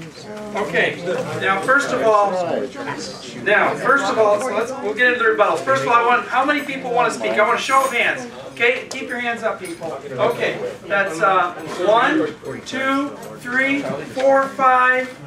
Uh, what about you, Bron? You want to uh, speak? Okay, I'm not, okay, all right, six, seven, eight, nine, uh, okay, I count nine people plus the speaker, that's ten. All right, so, Go uh, down. that's gonna be, um, roughly four to five minutes. yeah, I would say, uh, how about, yeah, uh, how about, uh, five minutes? Yes. Okay. Okay, five, five minutes each. And, uh, all right, uh, here's, here's Gene. What about you two, Ron? Okay. Uh, Okay, well, uh, thank the speaker, obviously, I thought he was pretty good, I bought his book. So, it was a really good story, I, uh, very, very interesting. Uh, I want to mention two books that re, uh, respond to this a little bit. One is Why America Failed by Morris Berman. And it's about the idea that we Americans, not necessarily me, people here, but in general, we're a bunch of hustlers.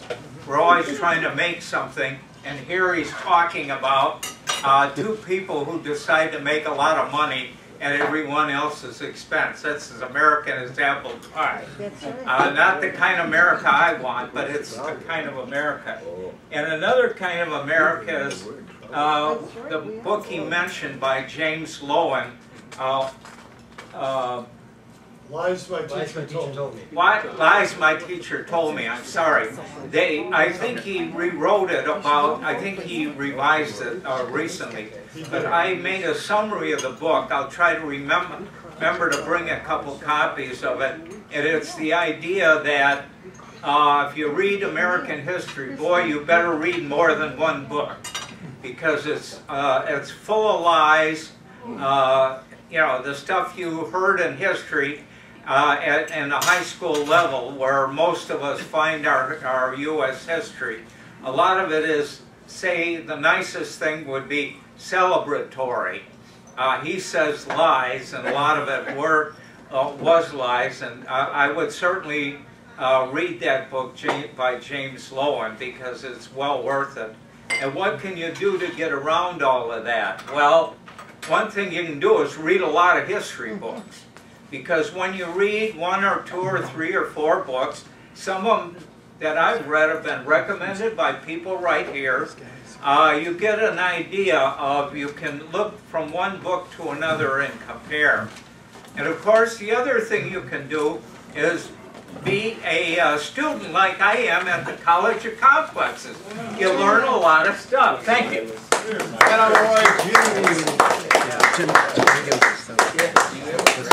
There's this preacher gets up on the pulpit down south and uh, says, uh, there's been stories going around, I've been working with the Cluckers, and I want to know where these stories got started. And his wife says, well, I only said you were a wizard under the sheets. Well, Uh, Take it easy, Brown. I used to know sort of a Klan fellow traveler. Uh, he'd say all kinds of outrageously bigoted, bigoted things. And, uh, he was all bark and no bite. He he did bark a lot, but he did, uh, never bought the bite, bit that I know of. Uh, but anyway, he'd say things like, uh, this pollution control stuff on cars was just a lot of garbage. And I saw a footnote in a book about, uh,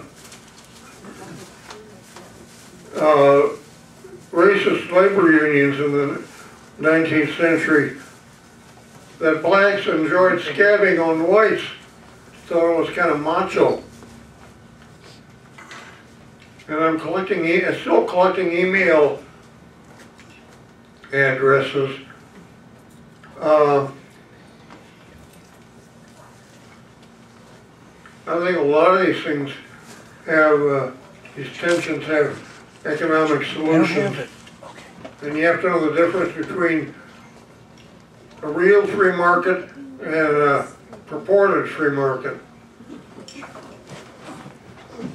Uh,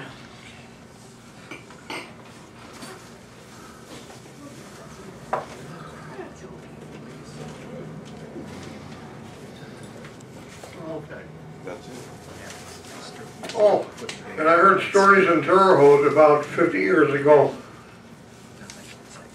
that uh, some black guy was castrated in Terre Haute by the Klan.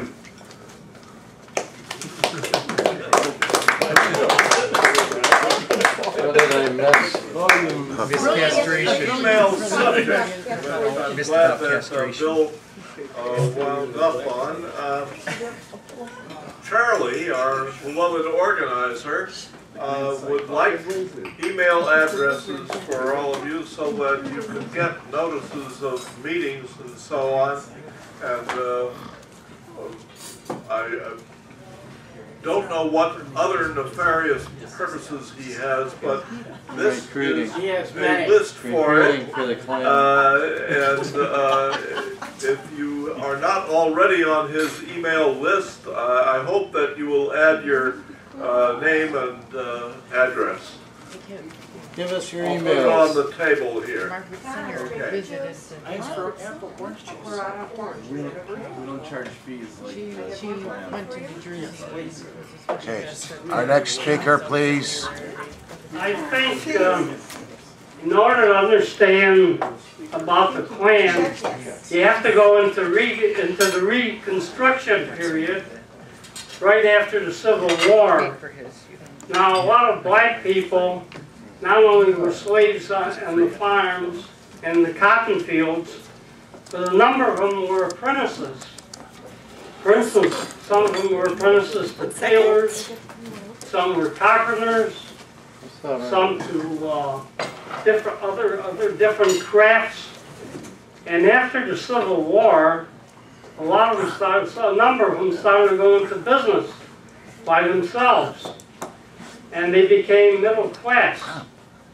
Also, during the Reconstruction period, you had a number of whites that also collaborated with the newly freed blacks in order to form businesses, in order to form farms, plus the fact that a number of slaves, ex-slaves, uh, came into the Congress and came into the Senate. Now, if you look at during that period, of course, the landowners had most of the power, especially the plantation owners. So if you have all these people getting together, oh, there, there's a danger to the upper class, to the planters and the petty bourgeoisie in that particular era. There's a danger to them that some of their power would be taken away and the blacks would get equal wages with the whites. because they seen them collaborating with one another. Well, that's when the Ku Klux Klan comes in. They had to have some way of curtailing that. And the best way of curtailing it is to install fear. So started up the Klan. And they intimidated them, hung them, and coerced them quite a bit in order for the uh, plantation owners and the other petty bourgeois to come back into power. Now, uh, at a certain period during the Reconstruction period, I guess you the uh, Northern Army had to leave because a lot of them went into the West to fight Indians. And so you had a situation where the uh, upper classes in the South were put in a position where they could gain back power. And that's why the Ku Klux Klan was formed, in order to do that. And after a while, you had a segregation, but on a different level. What they called Jim Crow, which we still have today, by the way. Even though people have gained some freedom and some power, the powers that be are using the army and the police in order to form a police state right now. Uh, there's going to be a lecture, I don't know what day it's going to be, uh, but um, uh, there's a, famous uh, anti-war activist, I can't think of her name, but her husband is Bill Ayers. Bernadette Healy. Yeah, Bernadette Thorne. And she's going to speak at the um, Hartfield Cafe, Hart, Heartland. Heartland Cafe, but I don't know what date. And there's going to be some lawyers there, and they're going to talk about the. they're announcing that on CPT. Well, they're announcing it now. I heard it on the radio. And there's a danger right now that we're going into a police state. Oh, I think the beginning is already started. Like Hitler started, very slowly, and you didn't actually know that what he was going to do. I think it's beginning right now. We're in the beginning of fascism in the United States. A very dangerous period.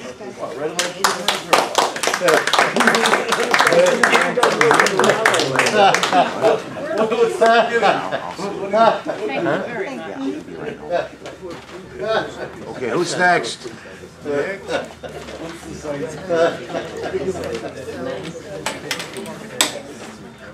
First of all, I would like to thank our speaker for a very illuminating and interesting presentation. That's why I bought your book. Thank you. Um,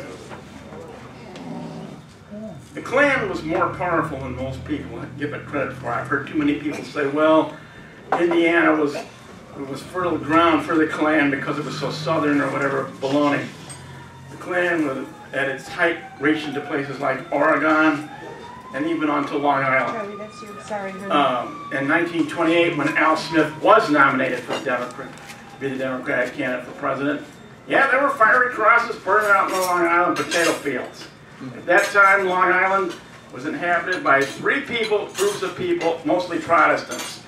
The upper crusters who owned the huge estates, the people that, for lack of a better term, I'll call blue-collar Protestants, were mostly fishermen who lived in lived in, the, in some of the villages on the coast, worshipped in nice little white white clapboard churches, and who didn't think any more of blacks, Jews, or Catholics than the upper crusters. And then you have the potato farmers. And none of these people had, like Al Smith, and while the upper crusters were too well bred to join the Klan, uh, the potato farmers thought nothing about joining it, and I dare say some of the fisher folk did too. As for why uh, the troops left the South, uh, Reconstruction ended after Ulysses Grant left the White House in 1877 for this reason. There was a dispute over the counting of for whose electoral votes in, in certain southern states, including Louisiana, were going to be counted. And it went before Congress, it bogged down, a deal was cut between Rutherford, behalf of Rutherford B. Hayes, the Republican candidate, who promised that if he were elected, he would pull the troops out of the South and he would appoint a Southerner uh, who wound up being David Key to his cabinet. He got named Postmaster General.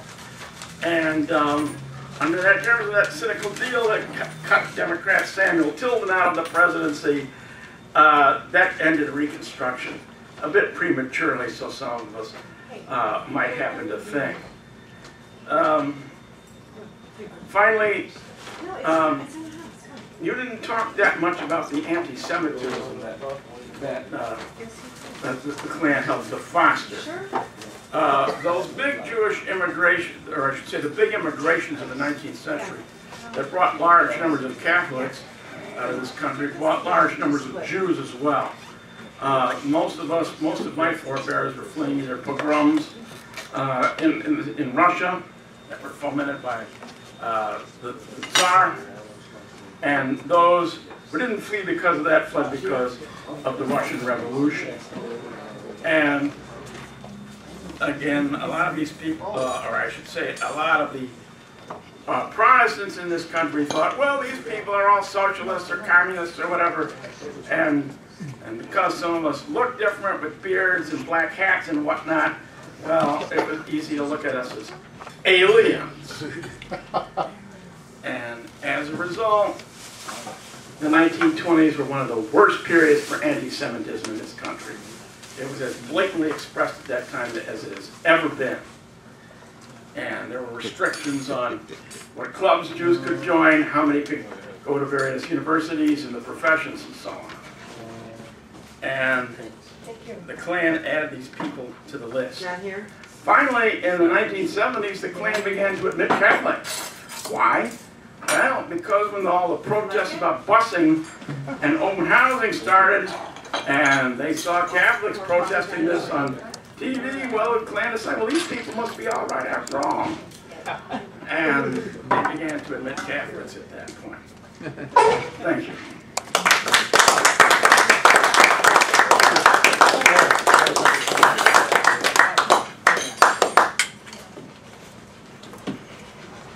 Good evening. Good evening.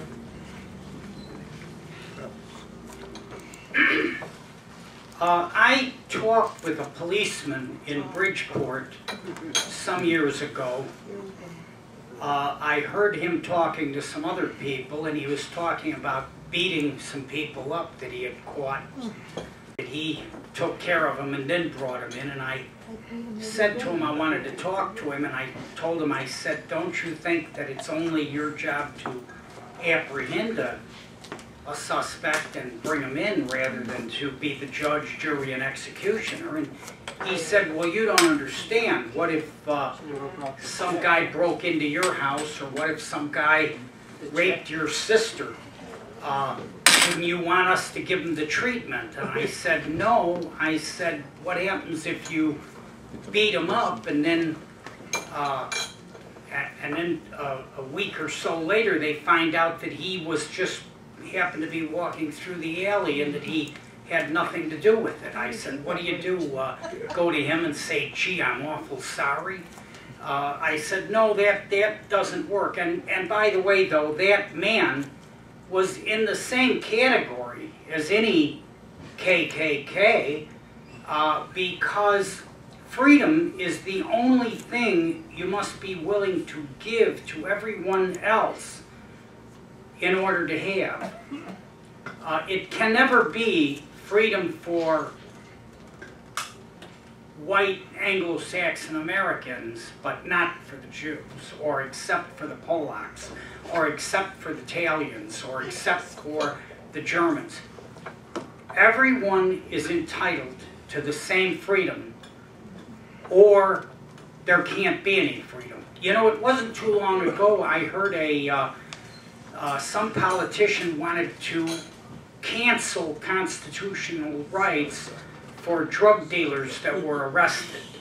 Uh, that wasn't too long ago. And one guy spoke up and said, if the worst drug dealer has no constitutional rights, then none of us do.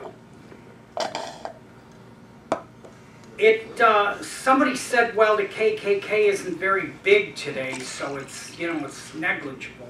But it does not matter how small the KKK or any other hate group is. It, it only takes one man to pull a trigger. Uh, Lee Harvey Oswald or James Earl Ray or that guy that uh, uh, influenced the, the uh, fanatic that killed that guy Birdsong that went out on a shooting spree. I'm sorry? That was Ben Smith who killed Ricky Birdsong. And the guy that influenced him? Oh gosh, that was Matthew Hale. Yeah, Yeah, and he, Matthew Hale was sent to prison. Uh, but the point is that as long as there are people out there who are full of hate or who are inspiring hate, then it doesn't matter if they say, well, I'm doing it for Christ, or I'm doing it for the KKK, or I'm doing it for whatever. There, it's, it's not called for. It's un-American. And if you, if you don't want to grant freedom or the same rights to every other group in this country, then you, it amounts to not granting rights to anybody. Uh, I just want, I'm not finished. Amen, brother. Uh, I wanted to say that in ancient times, uh, hate was the order of the day. One man said no. Love is the answer. He was beheaded. Today, they are all forgotten. But he is remembered. He was remembered so well that they made him a saint and called him Saint Valentine. Thank you.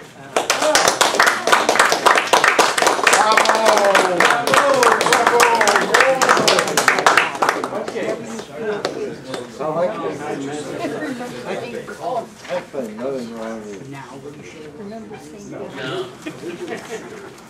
You know, it really is Bravo, interesting. It really is an interesting phenomenon and thing how our author talked about this money-making scandal. But you know, it's only been fairly recently, for example, the uh, founder of MySpace, the social networking site back in 2003, has a similar story of uh, monetary scandal and scams associated behind his name, as well as many other so-called internet entrepreneurs. Um, the big thing, though, that I really wanted to bring up was that uh, this whole science of modern public relations was founded by a gentleman by the name of Edward Bernays, who was a relative of Sigmund Freud. And I think one of the most craziest things he did was in his widespread adoption of cigarette smoking for women. And he developed a, uh, Edward Bernays had, was under contract with the uh, tobacco companies, and what did he do? In early New York, uh, the Easter parade, where the women and the people would get out of their synagogue, walk down Fifth Avenue in all their fashions. No. Syna- I mean, well, you know, from the churches, the synagogues, but the Easter parade phenomenon was so big in New York that most people would walk down Fifth Avenue in their Easter best and was sort of a coming out of high society at that time. Well, what Edward Bernays did was he got about eight of the most gorgeous looking women in New York, paraded them down smoking cigarettes, and they made the cover of almost every women's magazine in the world, and that's what really started the phenomenon of women and smoking worldwide. Later on in his life, Edward Bernays also became, did a lot of work for the anti-smoking campaigns. The book that I learned this from is another one by the gentleman by the name of Larry Tye. It's called The Father of Spin. Very interesting. Again, I'd like to appreciate Mr. Laackman with, for his wonderful book, and uh, I'd like to give him another round of applause.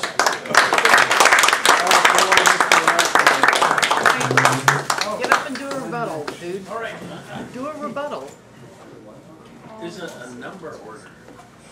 Well, you have to walk up and Just go, that's all. Just go. Just go, we want to hear what you have to say. After graduate school, You have to I, get uh, up and went to go. work One full at a time, y'all. down in Huntsville, Alabama. It was in 1955. And uh, I got off the train down there and I got into the station and there was two entrances, one for white and one for colored, and two water fountains. Um, the town of Huntsville, Alabama was hardcore southern. It was a dry county. There were no uh, liquor sales there. um, the town population was 15,000. But Huntsville, Alabama had the peculiarity. Um, a famous Nazi went to work there, Wernher von Braun. And uh, because he did, they had to develop a whole cadre of scientists and engineers, which they did. Unfortunately, for those people in Huntsville, Alabama, the, the majority of the people who were brought in to work on these projects were Yankees. They were from the North. And they did not share the hardcore racism of the uh, people of uh, Huntsville, Alabama. They may have been racist, and many of them were, I'm sure. But nonetheless, in the five years that I worked there, things changed. The 15,000 people that were there when I came ended up to be 65,000 when I left five years later. And the majority of them were Yankees, the vast majority. And it changed the perspective of the town completely. It was no longer dry. Um, segregation ended in certain areas. Uh, and there was a, a whole new attitude which was alien to the people who lived in that town prior to 1956. And uh, it, it, it was in somewhat encouraging, but unfortunately it's regressed since then.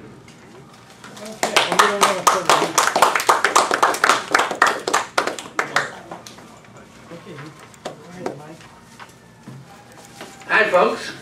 Hey. Um, nice shirt. What- actually, this is a calm one for me. Yes, Yeah. But when I first uh, moved to Atlanta, Georgia, I remember that uh, we went to Stone Mountain. My parents took me there for a picnic. Now, you got to know that the guy who did the sculpture on Stone Mountain was Ku Klux Klan.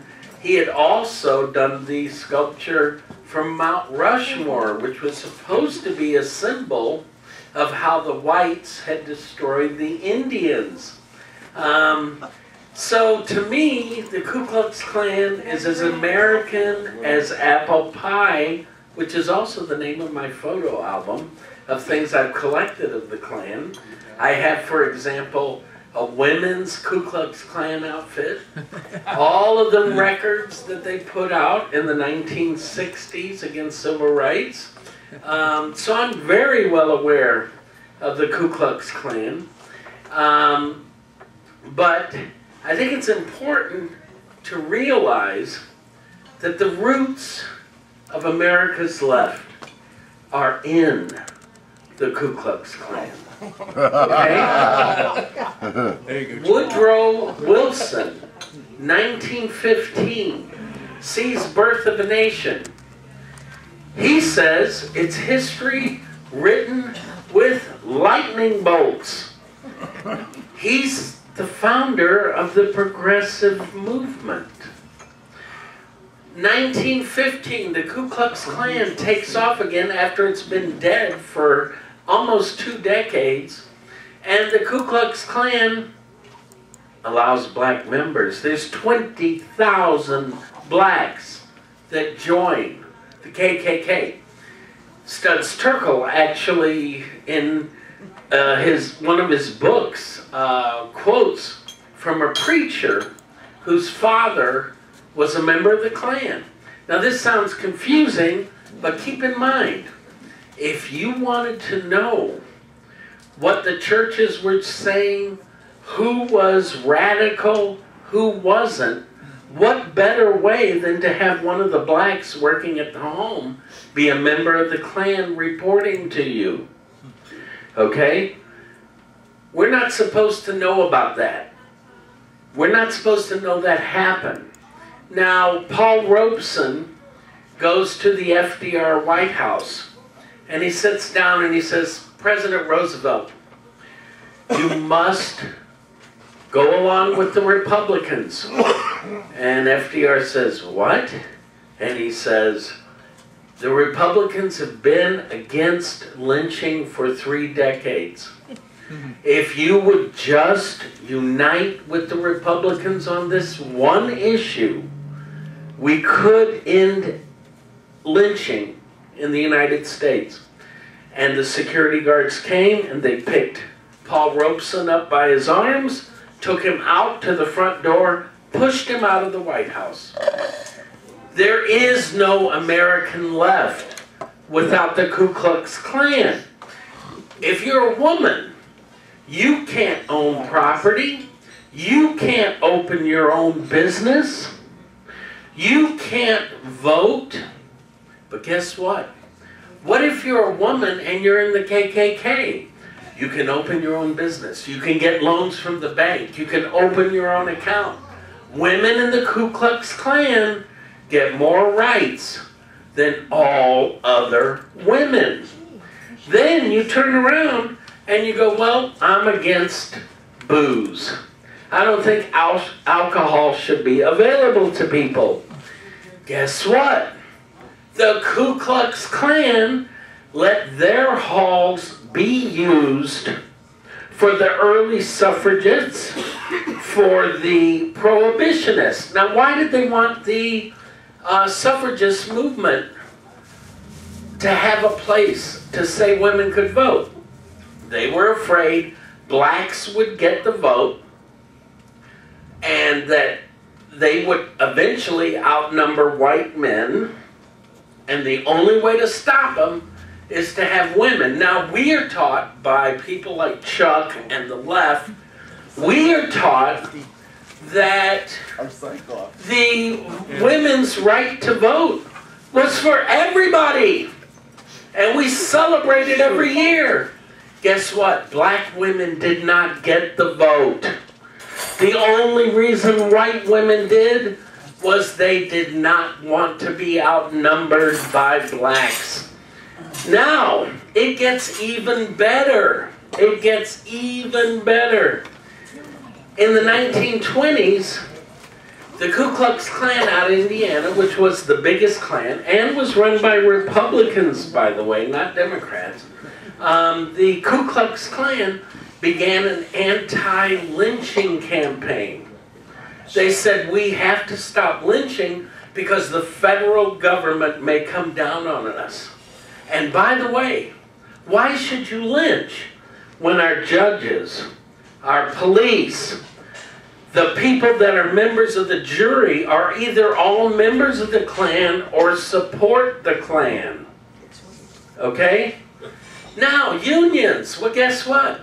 The Ku Klux Klan, Chuck, you'll be happy to hear this, did back unions that were all white and supported the unions that would not allow minorities to join, which was almost all of them in the 1920s and 30s.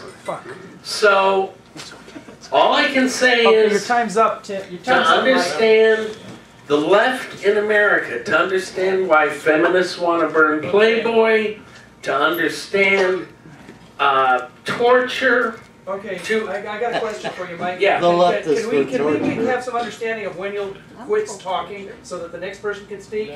All right. Okay. okay. Hey, boy, Mike, encore, encore, Mike, don't think that There is no left without the Ku Klux Klan. No, I tell you. Bill's lefty Klan. Listen, Yeah. why did you let him go on so long? What did you do, stay sound? It's my fault, Dawn. Sorry. Okay. Two things can happen. Two things can happen in any place, any time, where living people's. I'll help you, And, uh, those things could go this way or that way. They could change for the better or change for the worse, or they can stay the same. Now, a lot of stuff that we face as humans, as a society, as uh, uh, uh, entity that we call a government, they say the same.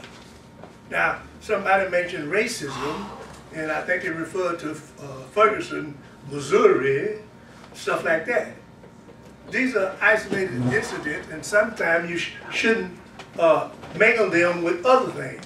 For instance, my observation is the government is in charge, and the people that own the government is in charge of the government. And two things that the government don't allow, and the people that own the government don't allow. Dick, Tom, and Harry running their business. Now, like David uh, Singer asked a question about, uh, uh, uh, he made some remarks, he went and asked a question about uh, uh, uh, the, the, the, the people, business people, that said that well, we can't have this uh, racism anymore and so forth and so on. And he was into something. And he was into something because just like me, I'm living. So I can see what's happening. Now, if you think racism today is at the former level it was in the 50s or the 60s, no way. The guy that run the world don't care how and who you are. And I don't know how much evidence do people need to, to believe that statement I just made. We got a black president. You think uh, you, you think that somebody uh, went out and say, well, I mean the people, you think the people choose him, selected him? Give me a break, please. The people that run the world need the world. In that uh, uh, uh, uh, bullshit, bullshit uh, segregation and bullshit racism that they used to support, the government. For instance, they had laws that you rolled on the back of the bus. You couldn't do this, you couldn't do that, and so forth. That don't happen anymore. In fact, if you say something about black folks now, they take your base, uh, baseball team from you. So why are they doing that? Do they love black folks? No. They love power, they love money, and they will uh, uh, do whatever it takes to maintain that power, maintain that money. Now, you got individuals that to be individuals that I call somebody just like me, burning a, burning a, a, a, a cross on my lawn. Who is he? Just like me. He don't run a goddamn thing. He don't run the world. He don't run nothing. He my equal. He go and drive that truck like I do. Go to work at the post office or the police department just like I do. Who is he? He is a guy and the woman that's gonna always be around. You're gonna have that. But sensible people, when the government say, I don't have to ride on the back of the bus, what I care about him? If the if the uh, government say that if the guy in charge say, well, you can sit in the same classroom and all the rest of the university as anybody else. Give me a break. I'm not gonna fall for that little 1930 shit, the 1949, and so forth. Those days are gone. However, uh, uh, don't get me wrong now. The guy in charge will take advantage of whatever uproar, whatever dysfunction, whatever's happening in the world and society. He will let that happen if that means that his power and his money is uh, uh, secure. So therefore, certain things are going to be happening where this look like this, uh, uh, the Sunnis fighting the Shiites or whatever it is, is, is, is, is bad because they're killing one another. But guess what? Any type of uh, uh, stuff like that, including uh, Ferguson, Missouri, and so forth and so on, these things can happen, and when they happen, they benefit certain people. But guess guess what? It's not the people's in charge, and it's not my government anymore, because we don't have one. Okay.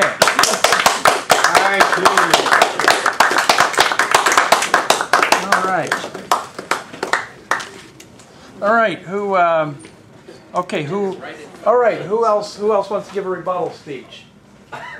No? All right, all right. uh, What's your name? All right. Oh, yeah, I got it right All here. right, I'm gonna go, all right, well, there, is, anybody else wants to give a rebuttal speech? No? Oh, uh, Bill, you already had a rebuttal speech. Yeah, I wanna. Yeah, but otherwise. No, no, wait, wait, can only, only one, one person at a time. All right, all right. All right, um, all right, if there isn't, everybody's already had, it. who wants their speech has already had one. I'll go ahead. Okay, are you gonna time me, Karina? Okay. Oh, wait, Mike, did you give a rebuttal speech already? Or did you want to give a rebuttal speech? Yeah. Okay, come on down. Go ahead. You go and I'll go after you. No, no, no, you, no, after you. All right. You're fired. I always give my, mod- uh, moderator always gives his second to last. You go first. Penultimate. Penultimate, yeah.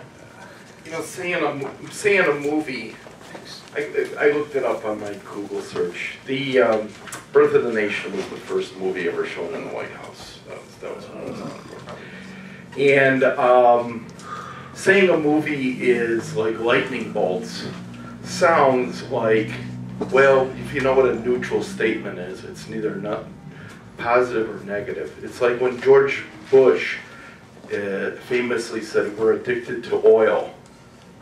Okay, is that positive or negative? It's a neutral statement. So, you know, I'm not, a, you know, there's nothing to be made of it. It's not a stand. It's kind of wimpy. Thank you. Okay. All right,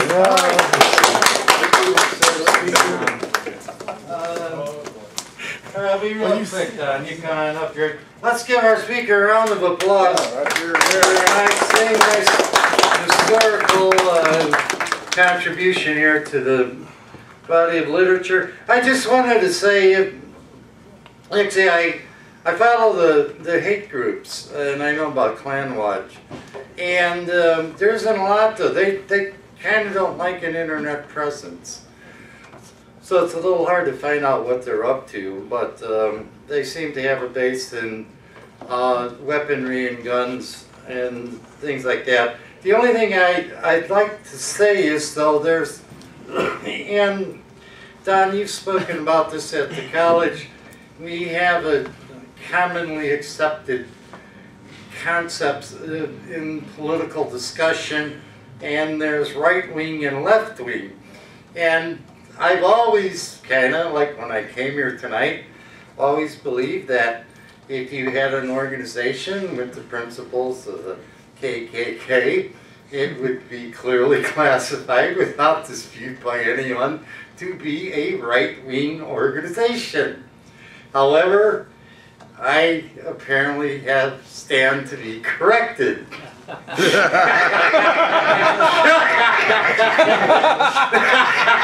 It is in fact a progressive leftist organization, oh. at least according to my dear friend Mike, which I, I'm going to have to think about for the next few days. But thank you, sir, again. All right. Chuck, there were far more Democrats in the Klan than there were Republicans. All right, um, all right, all right, is any, all right, anybody else wish to give a rebuttal speech at, uh, this time? Who is, and is, who has not already given a rebuttal speech?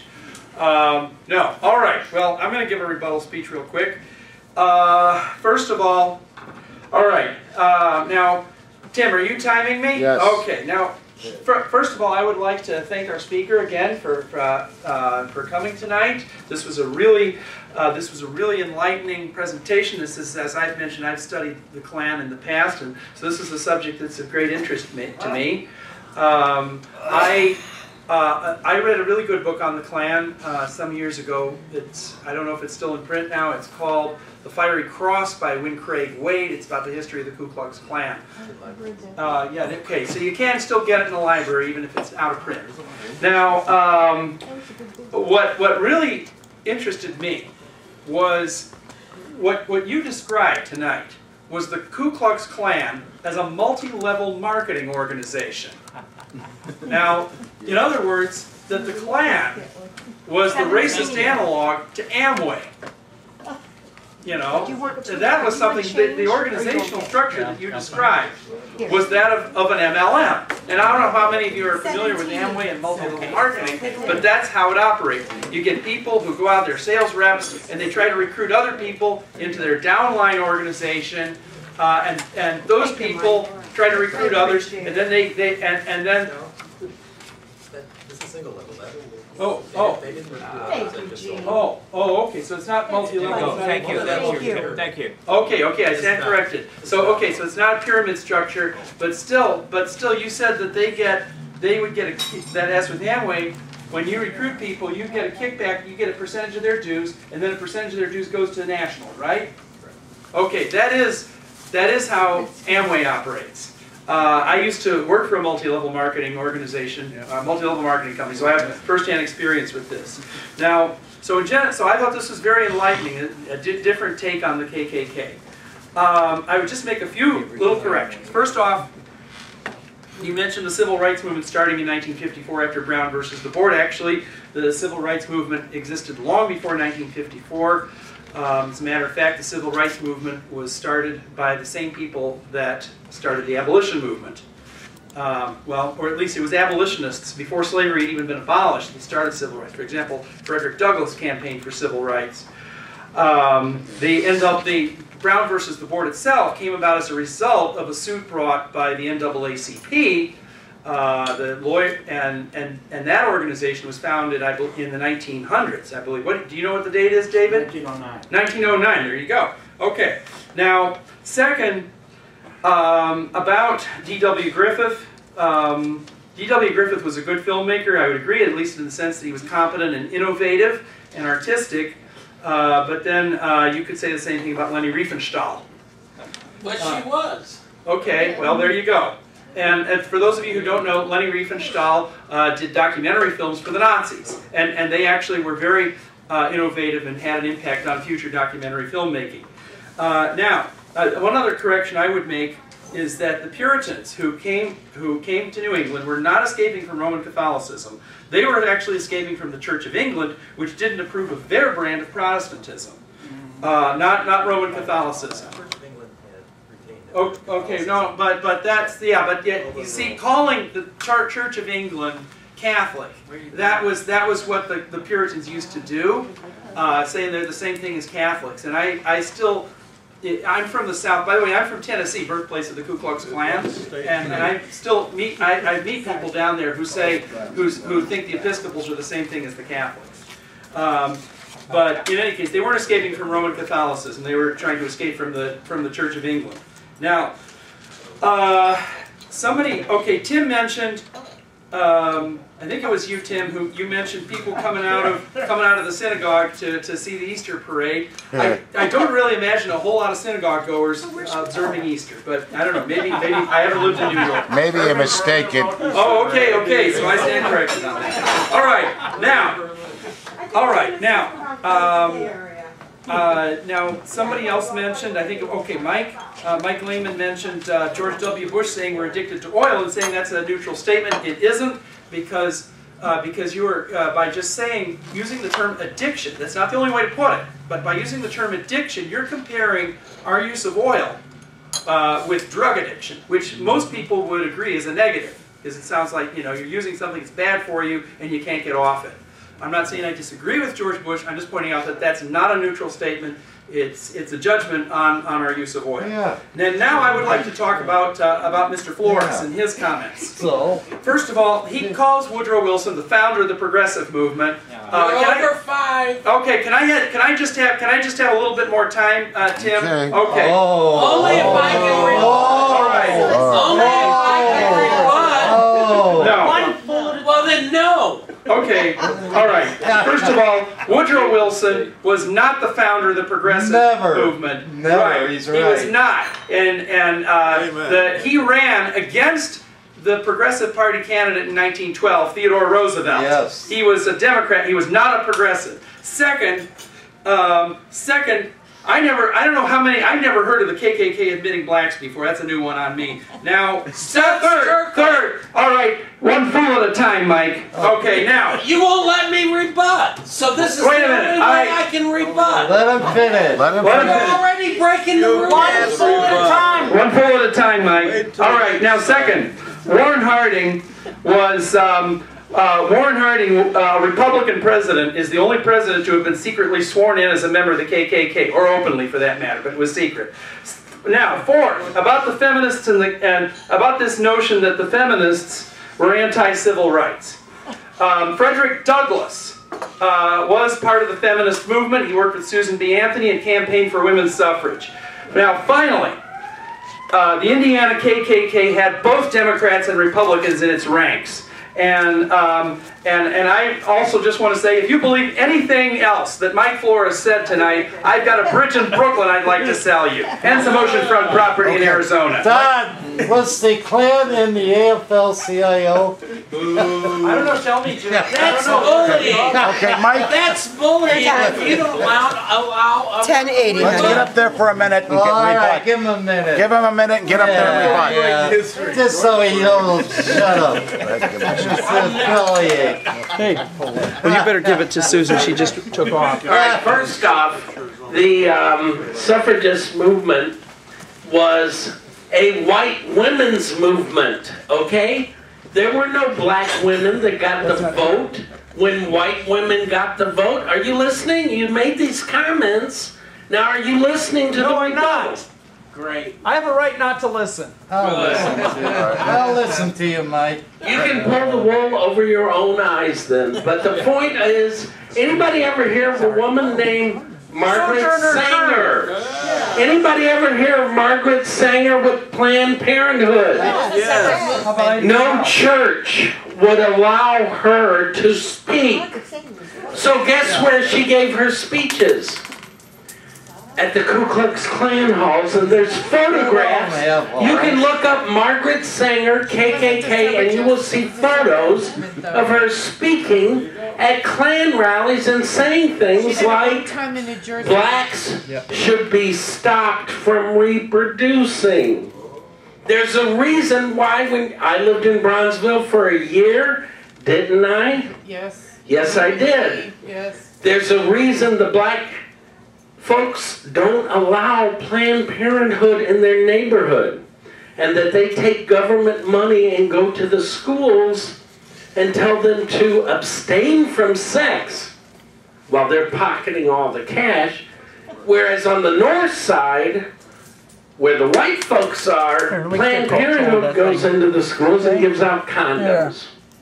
Let's, uh, Okay, there's a reason, and the reason is let's clear this. thing. they know that Margaret Sanger Let's time. was All right. a all right. How much time? racist. Now, we have Supreme Court judges. We have folks like Harry S. Truman, who dropped the bomb on an inferior race. Are you uh, The Japanese. Don't worry about it. Come here. I told him. Harry Truman was a Klansman. Okay? He was KKK. Now, all I'm saying is Your time's up, Mike. Your time's up. the left is as dirty on this as the right is. All right. Give the author the mic. you. Okay. Oh, uh, sorry about that. Author gets the last Okay. word. All right. Well, Mike is uh, Mike is enlightening as ever. All right. All right. Now it's time for our, our speaker um, uh, to have to have the final word.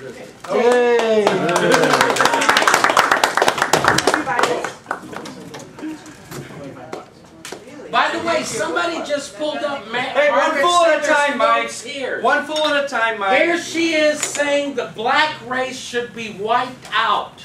Hey, Planned Mike. Parenthood. Okay, Mike, Mike. one The fool votes are right It's here. one person. Mike, All right. one fool at a time. Don't take Chuck's Hey, word Mike, Mike, for you it. It's up. Mike, here. you don't shut up. Well, Okay, guys, let's let our author get back and so we can end this on a more I know we're, positive we're run note. out of time. Yes. Um, I want to thank you for inviting me to meeting number 3288. I will always remember that. Um, This has been great fun. Uh, Thanks. I'm not going to rebut anything that's been said because it's a free speech forum and everybody can say what they like. Um, I want to thank those of you who have, uh, you know, bought the book this evening, and, you know, anyone else who wants to certainly can. Uh, After you finish reading it, you enjoy it, enjoyed it, please post a review on the internet, it always helps. If you don't like it, just, just keep it under your hand. Uh, I want to leave you with one little uh, bit of history interest.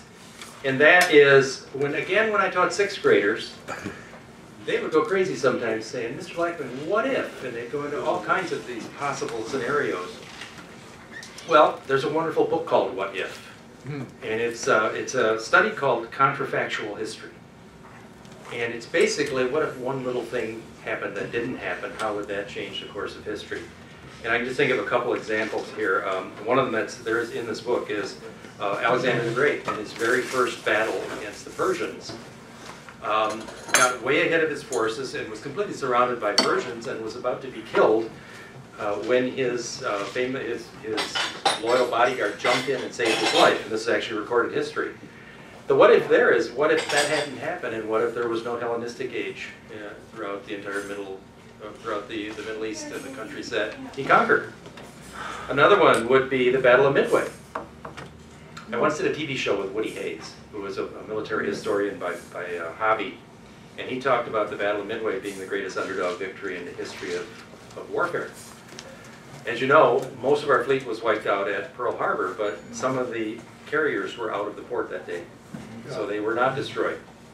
Um, we discovered the Japanese were heading towards Hawaii again, and we sent those carriers to uh, Midway, where we had cracked a code, and they were vastly outnumbered. Uh, it wouldn't have been a very pretty sight. But for some reason, the Japanese decided to land all of their planes on their aircraft carriers and rearm them from torpedoes to bombs or bombs to torpedoes, at which one it was. But they decided to rearm. As they were sitting on the decks, the American bombers went over. And there was no air cover, and they destroyed the Japanese. What if they hadn't decided to change? But World War II may have gone a totally different direction. Obviously, uh, I also did a, a, documentary once with Geraldo Rivera called Lee, On Trial Lee Harvey Oswald. It was uh, on the 25th anniversary of the uh, Kennedy assassination. I did it from Dallas. And whether or not you believe there were other shooters, what if Oswald missed? What would have Kennedy's legacy been? What might have happened differently? These are interesting things to, to ponder and they're fun. Uh, what now? There is a what if in this story. Bessie uh, Tyler's son-in-law worked for her. His name was J.Q. Jett, and he was also a fraternal organizer, or organizer and joiner. And he answered an ad from uh, William Simmons, one of the last ads Simmons, the last money he had. And he uh, went to the meeting and joined the Klan. And he's the one that came back to Bessie and to Edward and said, you know what, this is the kind of stuff we do really well. They need our help. What if they said no? What might have changed in history uh, as a result of that? And would the Klan have just died and gone away? So that's what I want to leave you with that. That's, that's fascinating to me, history, where history is made up of people, and people make decisions, and if they make different decisions or something else happens, history changes. So with that, I say thank you, and I enjoy the very. All right.